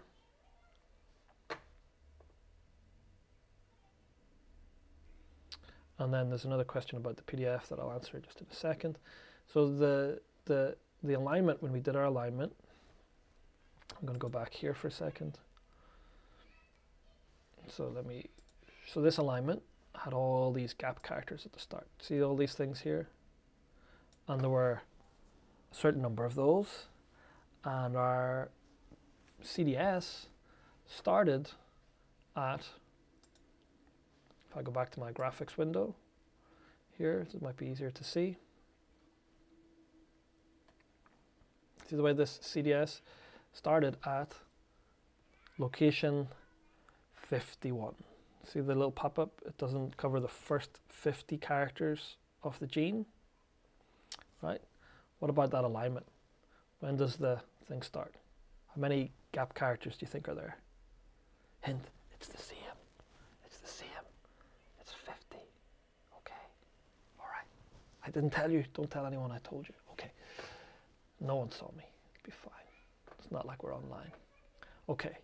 Uh, there was another question that that I uh, that I saw there about um, the PDF. So yeah, so when you download your PDF, please, this is important, or else you're gonna this is going to be really painful.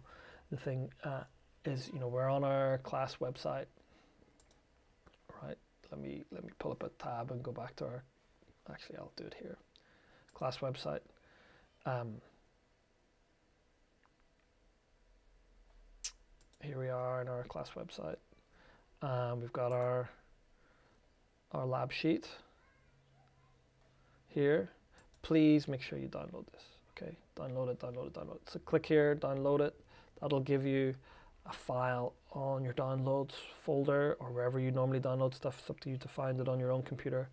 Open it, like I've done here.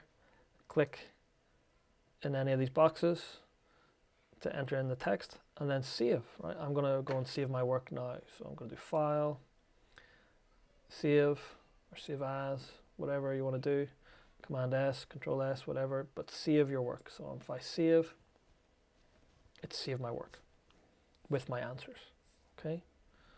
Don't try and fill it in. Uh, you know, you can fill stuff in on the web browser sometimes, like here I could start adding stuff. But the disadvantage here, you know, is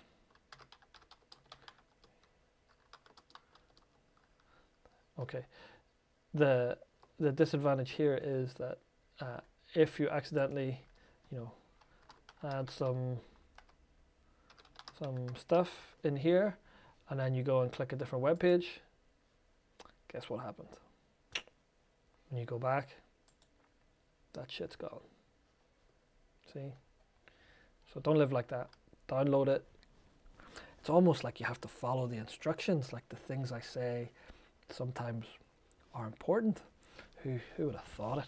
Okay, let's, let's continue with the last, uh, the last section.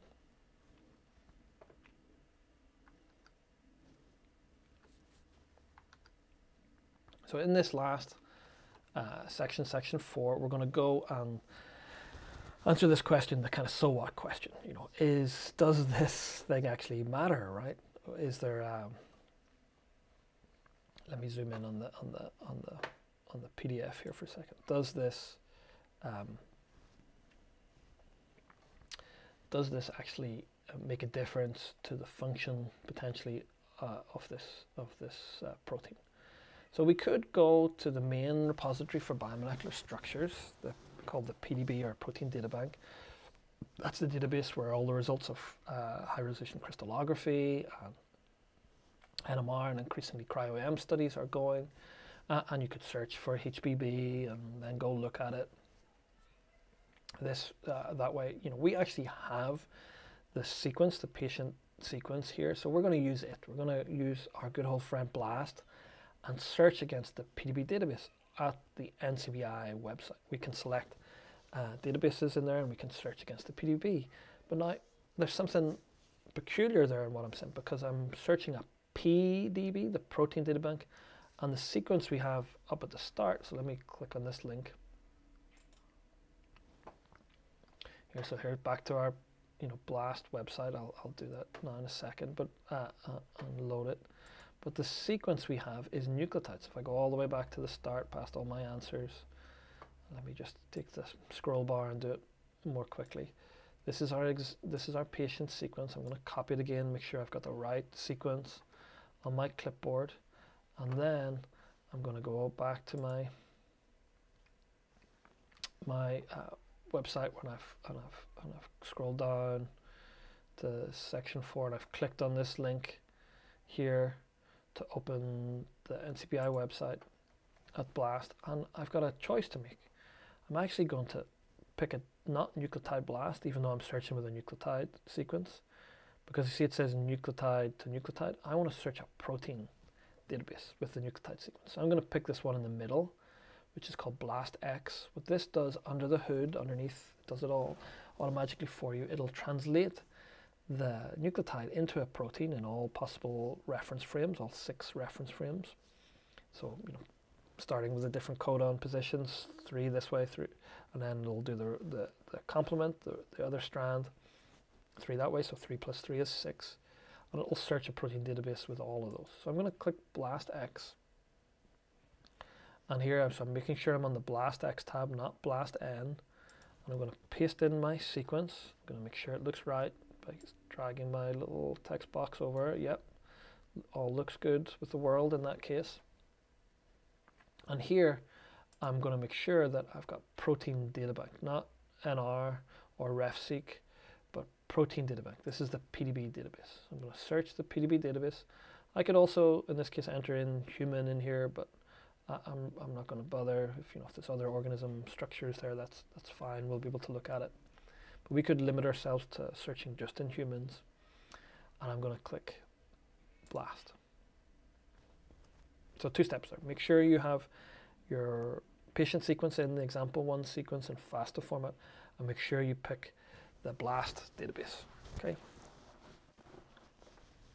Or sorry, the BLAST, the PDB database to uh, search against. Sorry. So I have my search results. It says I this time it says I used blast X. See this uh, written here, blast X.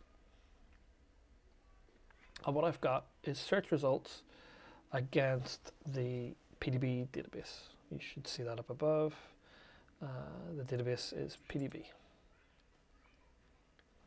So if you don't, if it doesn't say that, then you've searched the wrong database and you won't have the answers that we need for this section.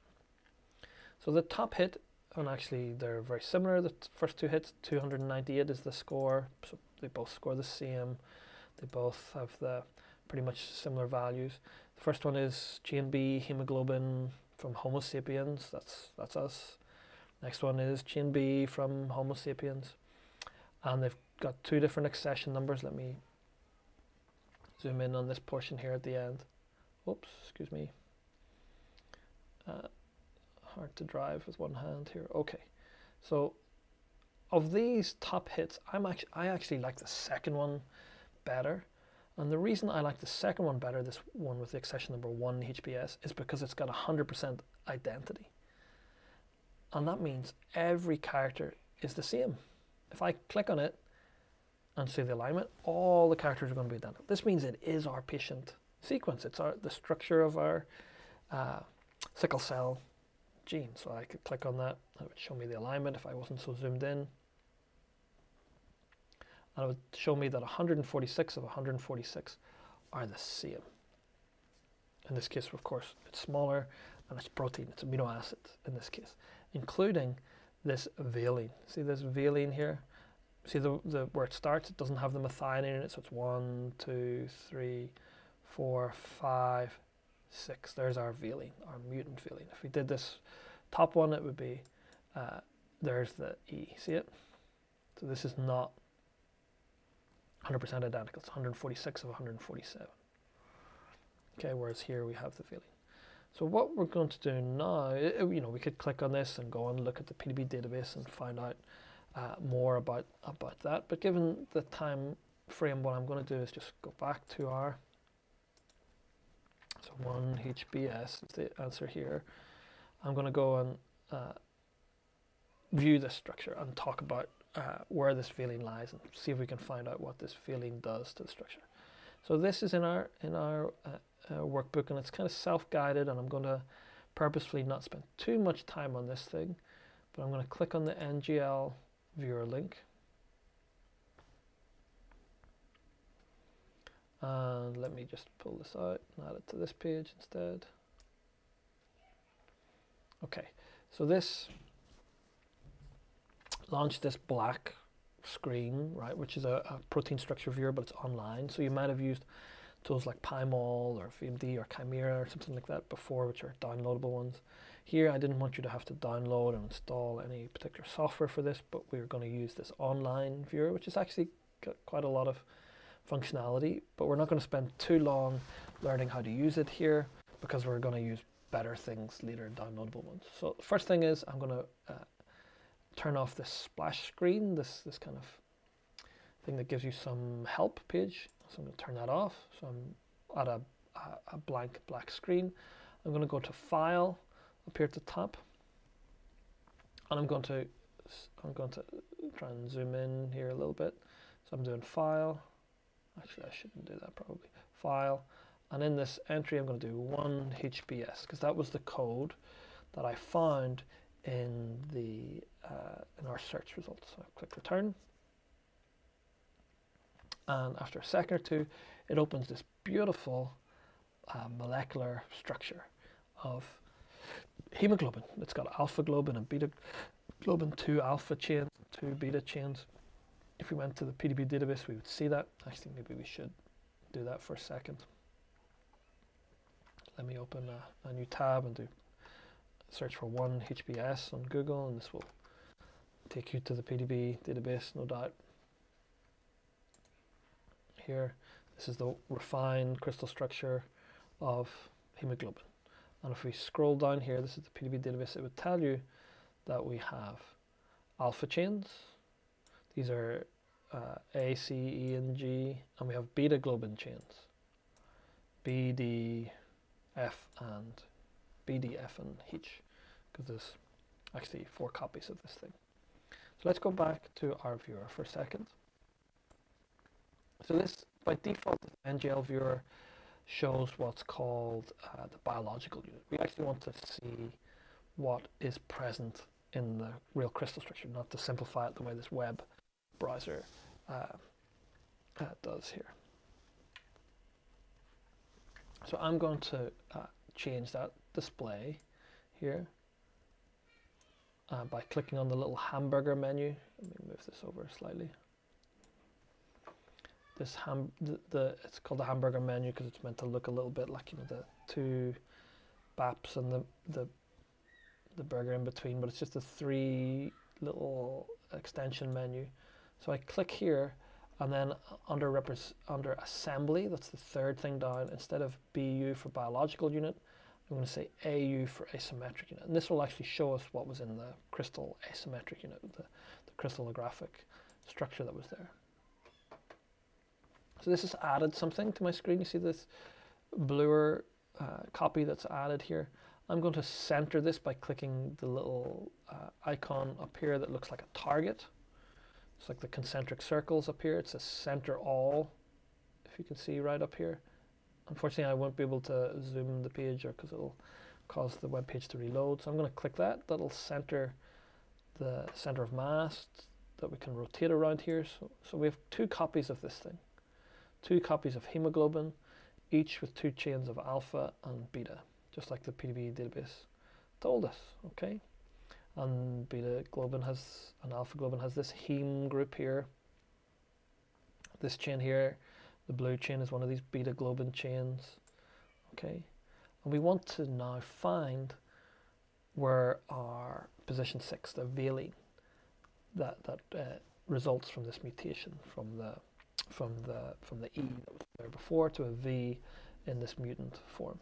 So we want to find out where that is. So I'm going to add a new representation. You can see each one of these kind of representations you can click on and off and it'll it'll uh, display different different things like here I want to add a new representation to highlight that valine position so I'm going to click on the hamburger menu again and I'm underneath representation I'm going to do add and then I'm going to click spacefill so let me show you that before I, I, I do it let me do that again I'm going to pick this little hamburger menu and do representation, that's the second one down.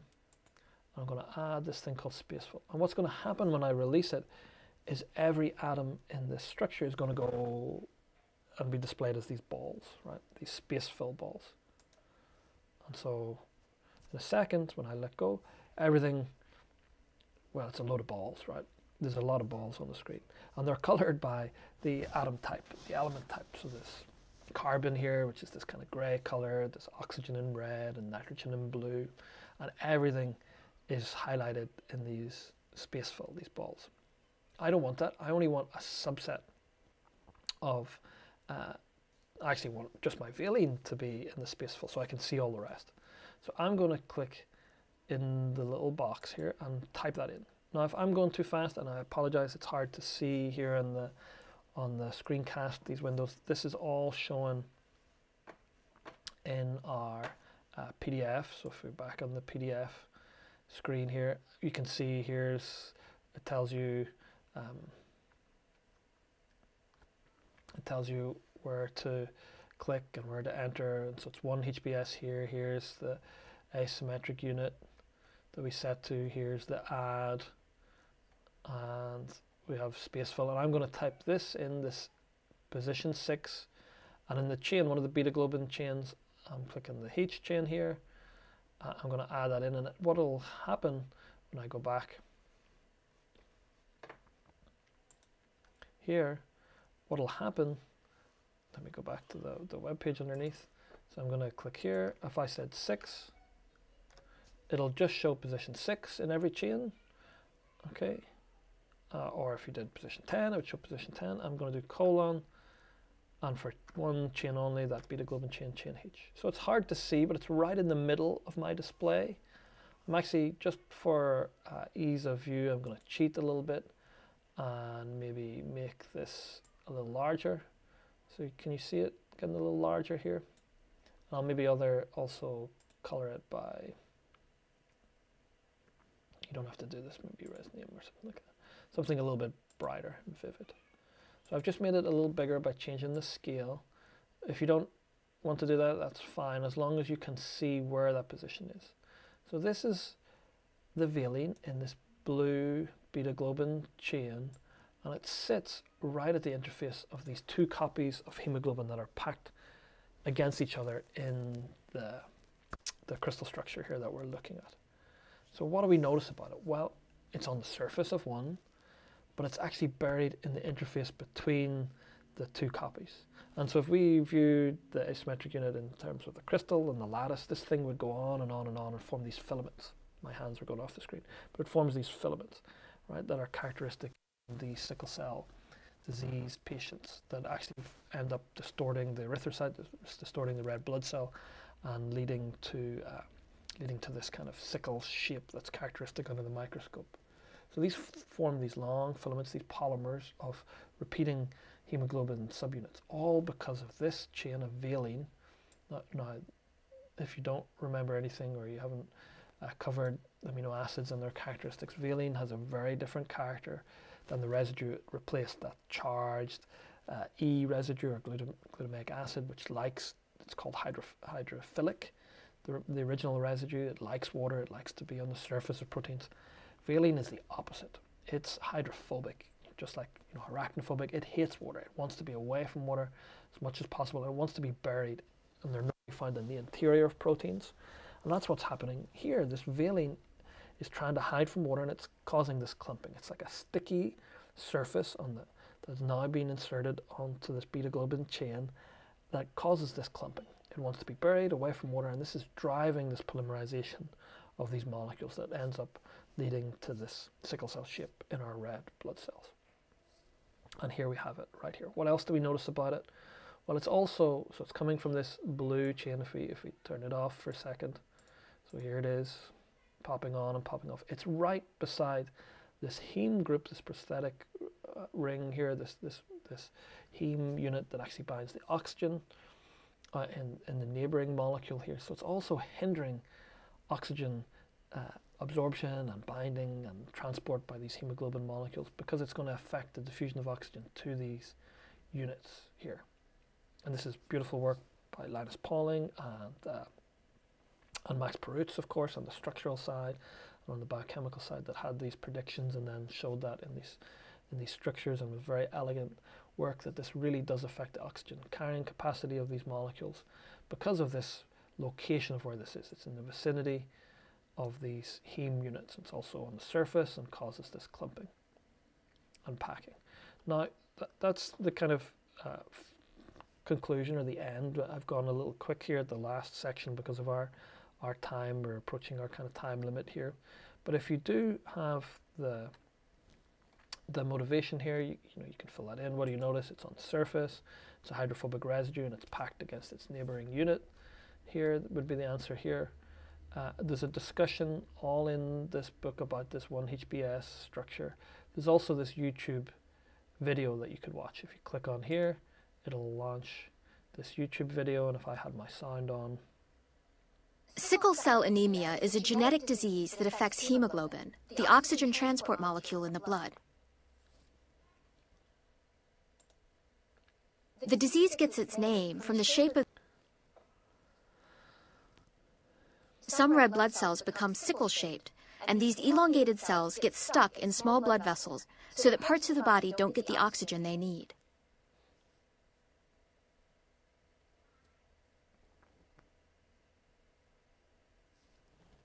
Sickle cell anemia is caused by a single letter change in the DNA. This in turn alters one of the amino acids in the hemoglobin protein. Valine sits in a position where glutamic acid should be. The valine makes the hemoglobin molecules stick together when oxygen tension is low, forming long fibers that distort the shape of the red blood cells, and this brings on an attack.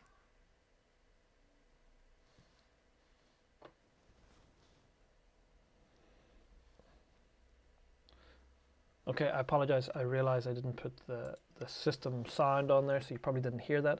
But it walks through, you know, in a, in a very gentle introductory way what, what's going on. And you know, what I uh, wanted to kind of stress, so you can watch that video on your own. It talks about the the single nucleotide change that results in a single amino acid change.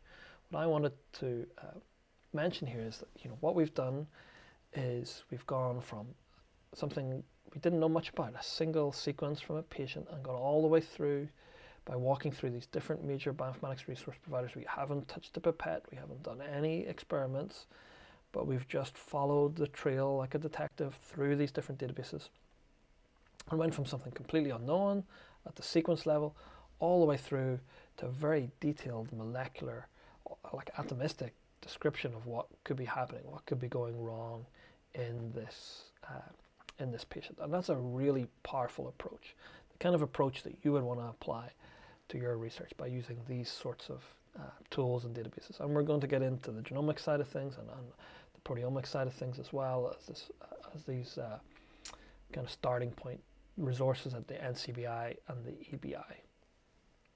So with that, what I really want you to do, please, uh, now or whenever you can, if you do click on this little Muddy Point assessment form, it'll bring you to a little Google form. And here you can tell me the things that were uh, not clear perhaps, or and give me a rating about uh, what you thought of this lab, how effective it was, and tell me, you know, do you want to go to Zoom instead? You know, the disadvantage there is we probably can't record all the students without their permission and make it available and so there are ways to do it, but we don't want to go down those sorts of routes. Anyway, let's let's let me know please what you think, and with that, I'm going to finish here and say the other thing that you're going to do once you've saved your sheet, you know, if you had all your answers in it, make save make sure you save your PDF sheet, then go to Gradescope. I'll do it on this browser, for example, on Gradescope. I'm going to go here. And Alina added, uh, I'll just go to Gradescope, the homepage for this course. And uh, if you haven't logged in before, enter in your UCSD email address and it'll ping you an email to set a password. If you have logged in uh, previously, it'll take you to this page, the landing page, and I only have one course here, so BIMM 143, it says one assignment. I'll click on that. And Gradescope, I already submitted my answers to this, uh, but you, if you, you can always update them, uh, as I'm going to do here. I'm going to say, uh, click on that, that link, and I'm going to resubmit my answers, upload my PDF file or select file first. Of my class, I'm going to make sure this is the right one that has my answers in it. Yes, it says Barry, my student number 911. So I'm going to say, yeah, open that one please, and upload it. And this will upload your lab sheet to successfully submitted. And it, then you should be able to see in Gradescope your answers. So you'll see uh, student name, your PID number. You could click on any of these questions to see what you answered for question two, question three. And once these are graded, you'll see your points that you get for all these things. And you'll have you'll have this for your reference for the for the future as well, along with uh, the grading and the scores. Okay, it's just hit 12 p.m. where I am. I realize there is a little bit of a delay on it, so I apologize for keeping you uh, longer. I am going to just do one final check of the Piazza forum and if there are no outstanding questions I'm going to sign off there and say thank you very much.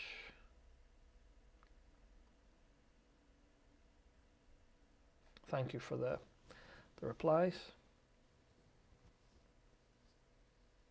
And, and you know you don't have to post anonymously on the on the Piazza forum. It's um,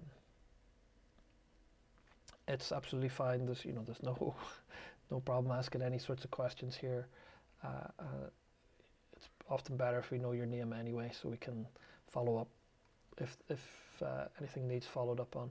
But thank you for your attention. I'm going to stop this live stream here, and we'll uh, do one last little check.